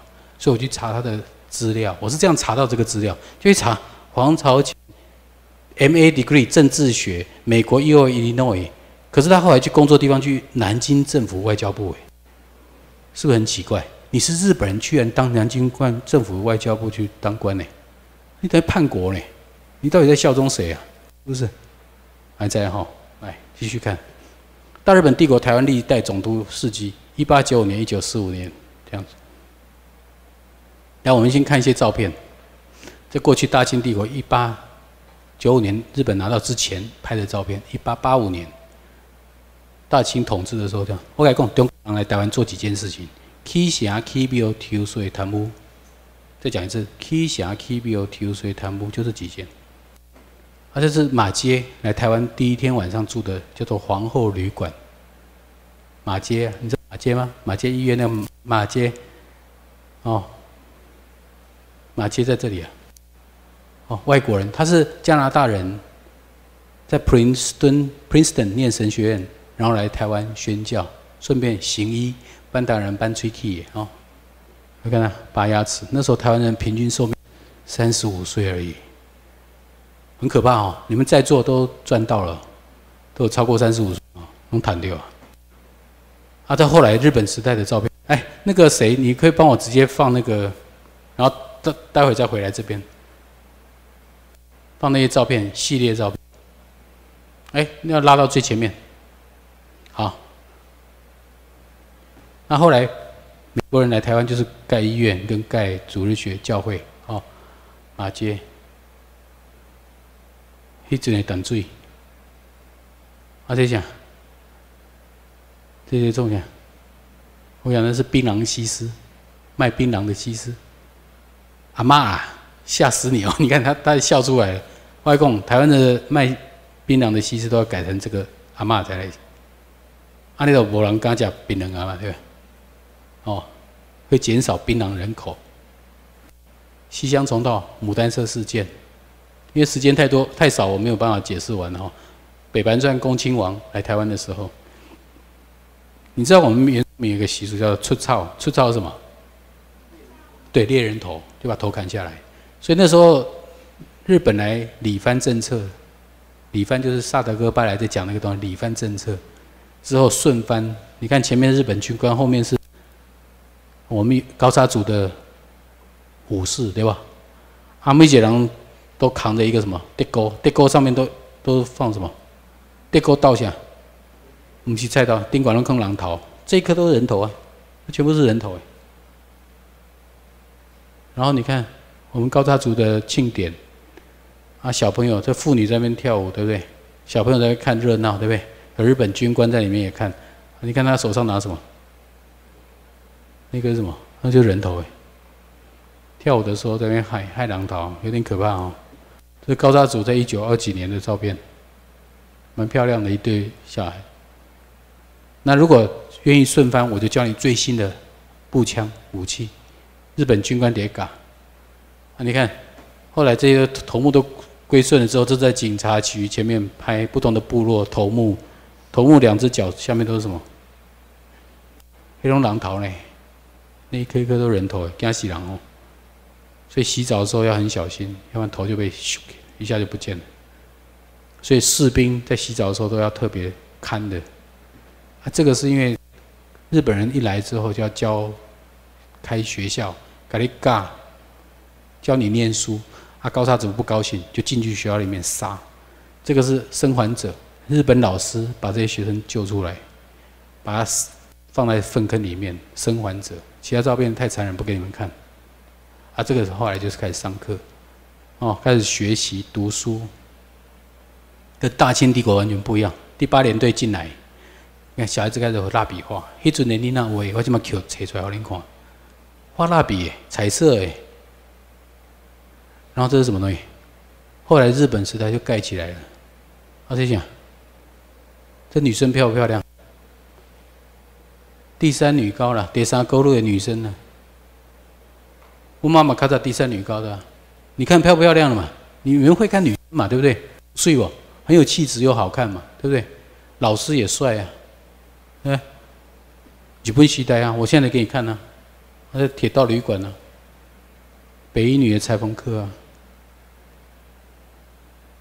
那是园游会啊，这是哪里？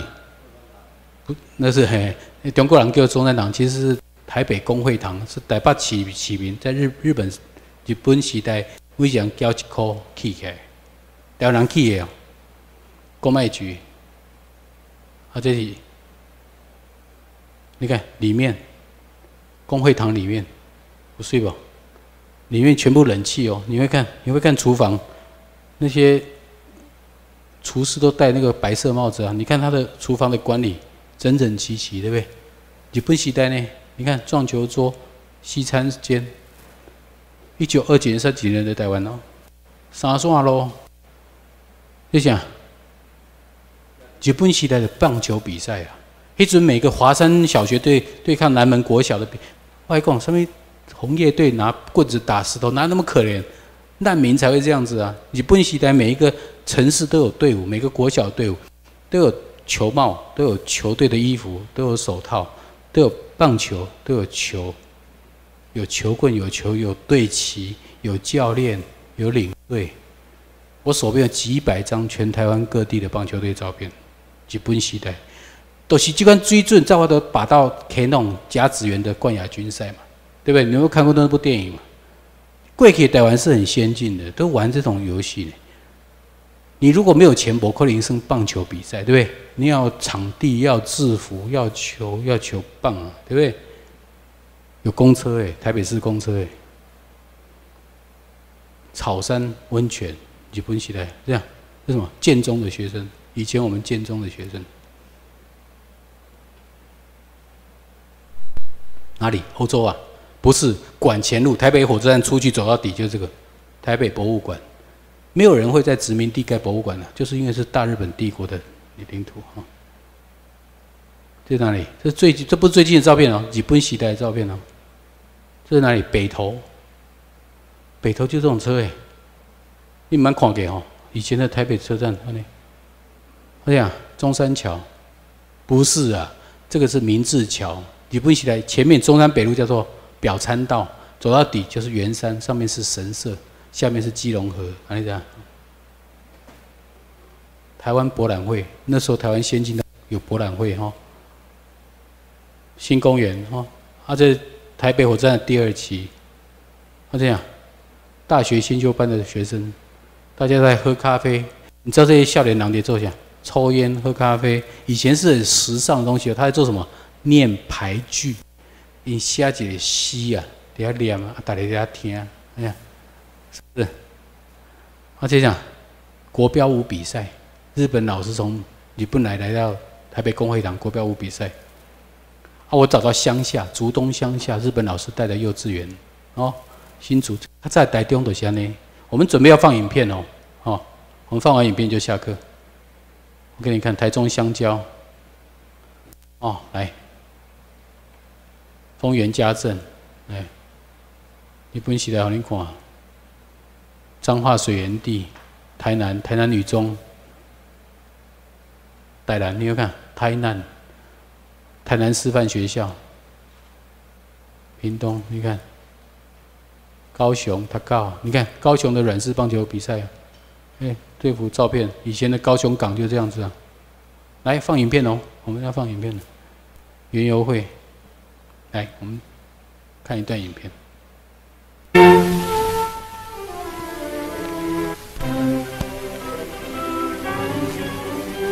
々はこうした情勢を打ち破るために北に強固なる国防の一線を画しさらに南に産業と経済の生活線を開いていかねばなりません。こうし熱と光に恵まれた台湾。それは我が日本の富の泉であります。日本領土の中でただ一つの熱帯及び亜熱帯地であ台湾が我が領有一八九五年四月十七号，马关条约签订以后，台湾归属我国。下関条約が締結されてからであります我が領土とな四十年的时候来做纪录片看这山山海軍大将这段时間做了什麼第一代の総督として赴任被追回台湾，台北城に入り 同是吧17已經變咗ね日師団長に手を合した北白川宮義久親王殿下のご大輪を仰ぎここに総督政治の施政式を挙げ次来40育成層今日の絢爛たる文化台湾を生んだのであります改立之前台湾被清朝政府当作化外荒地台湾居民被当作化外之民。改立之后，日本政府致力同化勋为帝国臣民。改立不到几年，做了什么事？平定土匪的叛乱，进行产业的指导奖励，铁路、港湾、交通建设、通信、卫生整备、治水灌溉、理番、教育普及，地方制度改革或者军事方面都非常完备，成果展现。相当短的时间里面，有这种成果，是因为皇室一视同仁的恩泽，官民一致努力的。你看台北市看到有夜景，你知道夜景的话，你要注意一件事情，要 infrastructure 就基础建设，电线配电都要有在。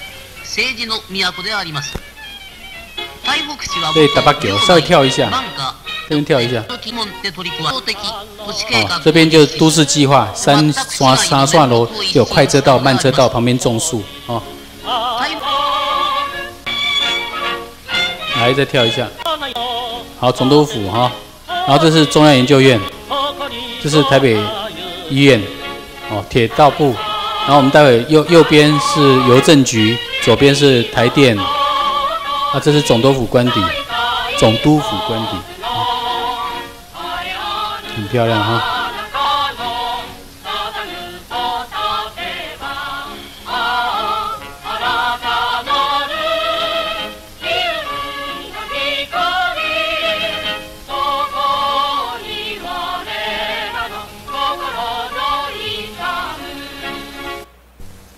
来，那这边就是。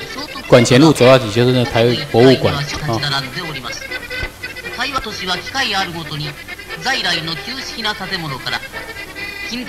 你看，慢慢看到日日本时代台北起先了哈。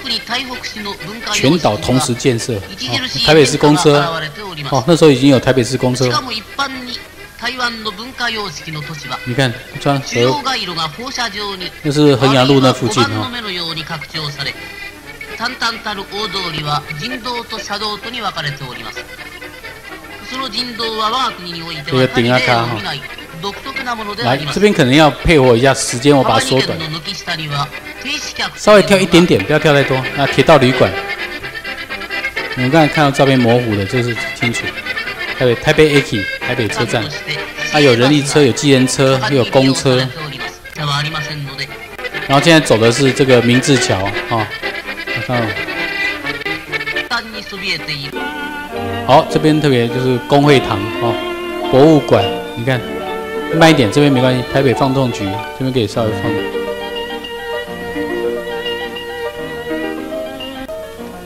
植物园啊，所以帝国的建设里面包括人民的一般的休闲享受都有啊。到丢点啊，这边跳一下，大套城这边跳一下，你好，K 一下 K 哦。哦，你们没有看过阿伯把把开哈？哦，我们第一次给你们看到。以前还有一些旧社区还没改的，有马里款的，中国人做下面你看，跟日本人走都不一样。你看这个把开，哦，好，再跳一下这边，我们直接看去淡水到关渡。哦，关渡这边在北头有温泉，也日本弄起来的哈。啊，接下去就看到淡水高尔夫球场，日本时代的国夫令啊。你看，慢慢看高居然后在新竹，然后我们直接看那个 その会そして没关系新宿は。茶叶的部分哈かつて，は茶叶制造，那时候新竹市哈，主なるものをはじめ加工品として你看以前茶叶前半段都是人工哦，接下去怎么弄？この日東紅全部茶の自动化工場は日本時代是那样近代 自動化，日本時代那样哦。你看生產線，ものがございます日東紅茶，你看每個人頭頭髮都把它罩起來，乾乾淨淨的哦。挑茶葉分類、包裝，恁阿公阿媽迄個時代都是安尼做代志的。阿祖哦，对你们有些人，日東紅茶，台中車站， 台中很漂亮台湾の，它有小京都之称台。中は台湾你看が绿川日本の領土になって多干净からの整个城市，你看，你看路灯，整齐划一。整然として緑川柳川の清流を要し柳を配した有柳树的台中市，静かに美しい幽静而美丽，有台湾京都之称。嗯台中州厅、州厅，台咱台湾分做六个州，每一个州有一个州厅，就 每一州有一个第一书知识哦。那是我们大日本帝国时代的编制，以后我们也要回到那个编制底下いろいろの果物を好这边是台中公園生まれております哦。那时候就 K 啊那样，还有喷水池啊， 30種に你看上り游艇啊，山日本时代的那样，不是后来的影片哈、哦。来，再走日月潭的发电，我们看一下。常に紺碧の色を来漂え这边ております稍微この水は水圧鉄管を通りジェネレーターの響きを上げ10 你看万キロの十万千瓦電力電気を発電し供應全台湾，那時候有高壓電線配前後了哈。台湾電力会社は24万千瓦電力24万キロの準備好電力を準備することとなりました工業台湾の你看原動力好，再稍微再跳一下，你看日月潭南北送電，来再稍微跳一下，台南这边跳一下哦，嘉義这哦嘉義市，你看農林，它出名的話棒球 嘉農哦，好这边木材也跳一下。好，特别要讲一下糖糖业，台湾的糖业是一个关键性产业，它衍生出来有炼乳，对不对？有罐头，可以把水果输出，哦，买这样提炼酒精，哦，你看连铁道都设备好，它是基础建设做得很好。然后它的那个耕作过程，你们看一下，好，你看機械化設備啊日本時代安尼啊，一九二幾年、三幾年的台灣呢，是安尼啊。料炼乳罐头，其他工业發達，啊以砂糖為主的發展出來。消費高も戦前の2倍以上に増加して1人当たり13キロ。日本の砂糖消費高はここ10年間に平均70万ピクルずつ増加してまいりましたがその上気候が熱帯であるがために衣類も多くいらず然後這邊稍微跳一下，我們再看酒精。哦，它有農有糖業實驗所啊，你看這邊有實驗所提煉酒精。哎，怎麼我が国の停停住了？燃料自給自足の国策に台湾の製造總督府糖業實驗所，你再看，你看那時候的實驗所就這樣子，做实验就要穿白色袍啊！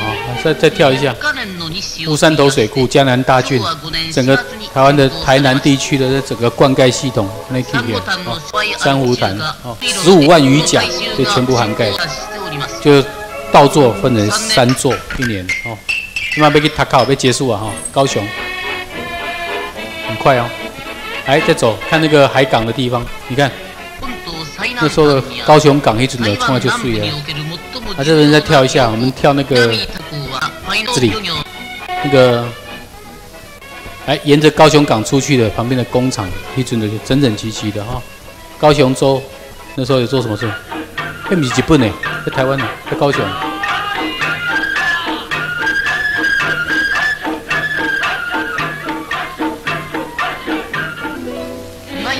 内地基隆有没有？我们福岡、九州到台湾哦，一万优秀的船只有六艘高级航线的游轮，那台定期航路，没办法想象的豪华豪华版航路哈。台湾拓殖，哎，慢一点没关系。哦，也有飞机，固定的班机。那台无线电话，内大航空东京大阪福冈哈，台北の間をわずか1日の連絡に短縮されております。内地と台湾は常に接し産業と経済南進国策の好ため我々は挙国一致で追行しなければなりません。然后我们高沙组的哈，有当老师哦大学专科毕业生当警察当老师都有哈また巡査や教員になっている者もおります。心なき者が万人と呼ぶと彼らの中には色をなして我らも日本人だ。万人と呼ぶのをやめてくださいと訂正を申し込む自覚ぶりであります。さて我らはさらに目を南に向けなければなりません。好，我们今天台湾史开始到这边上课结束。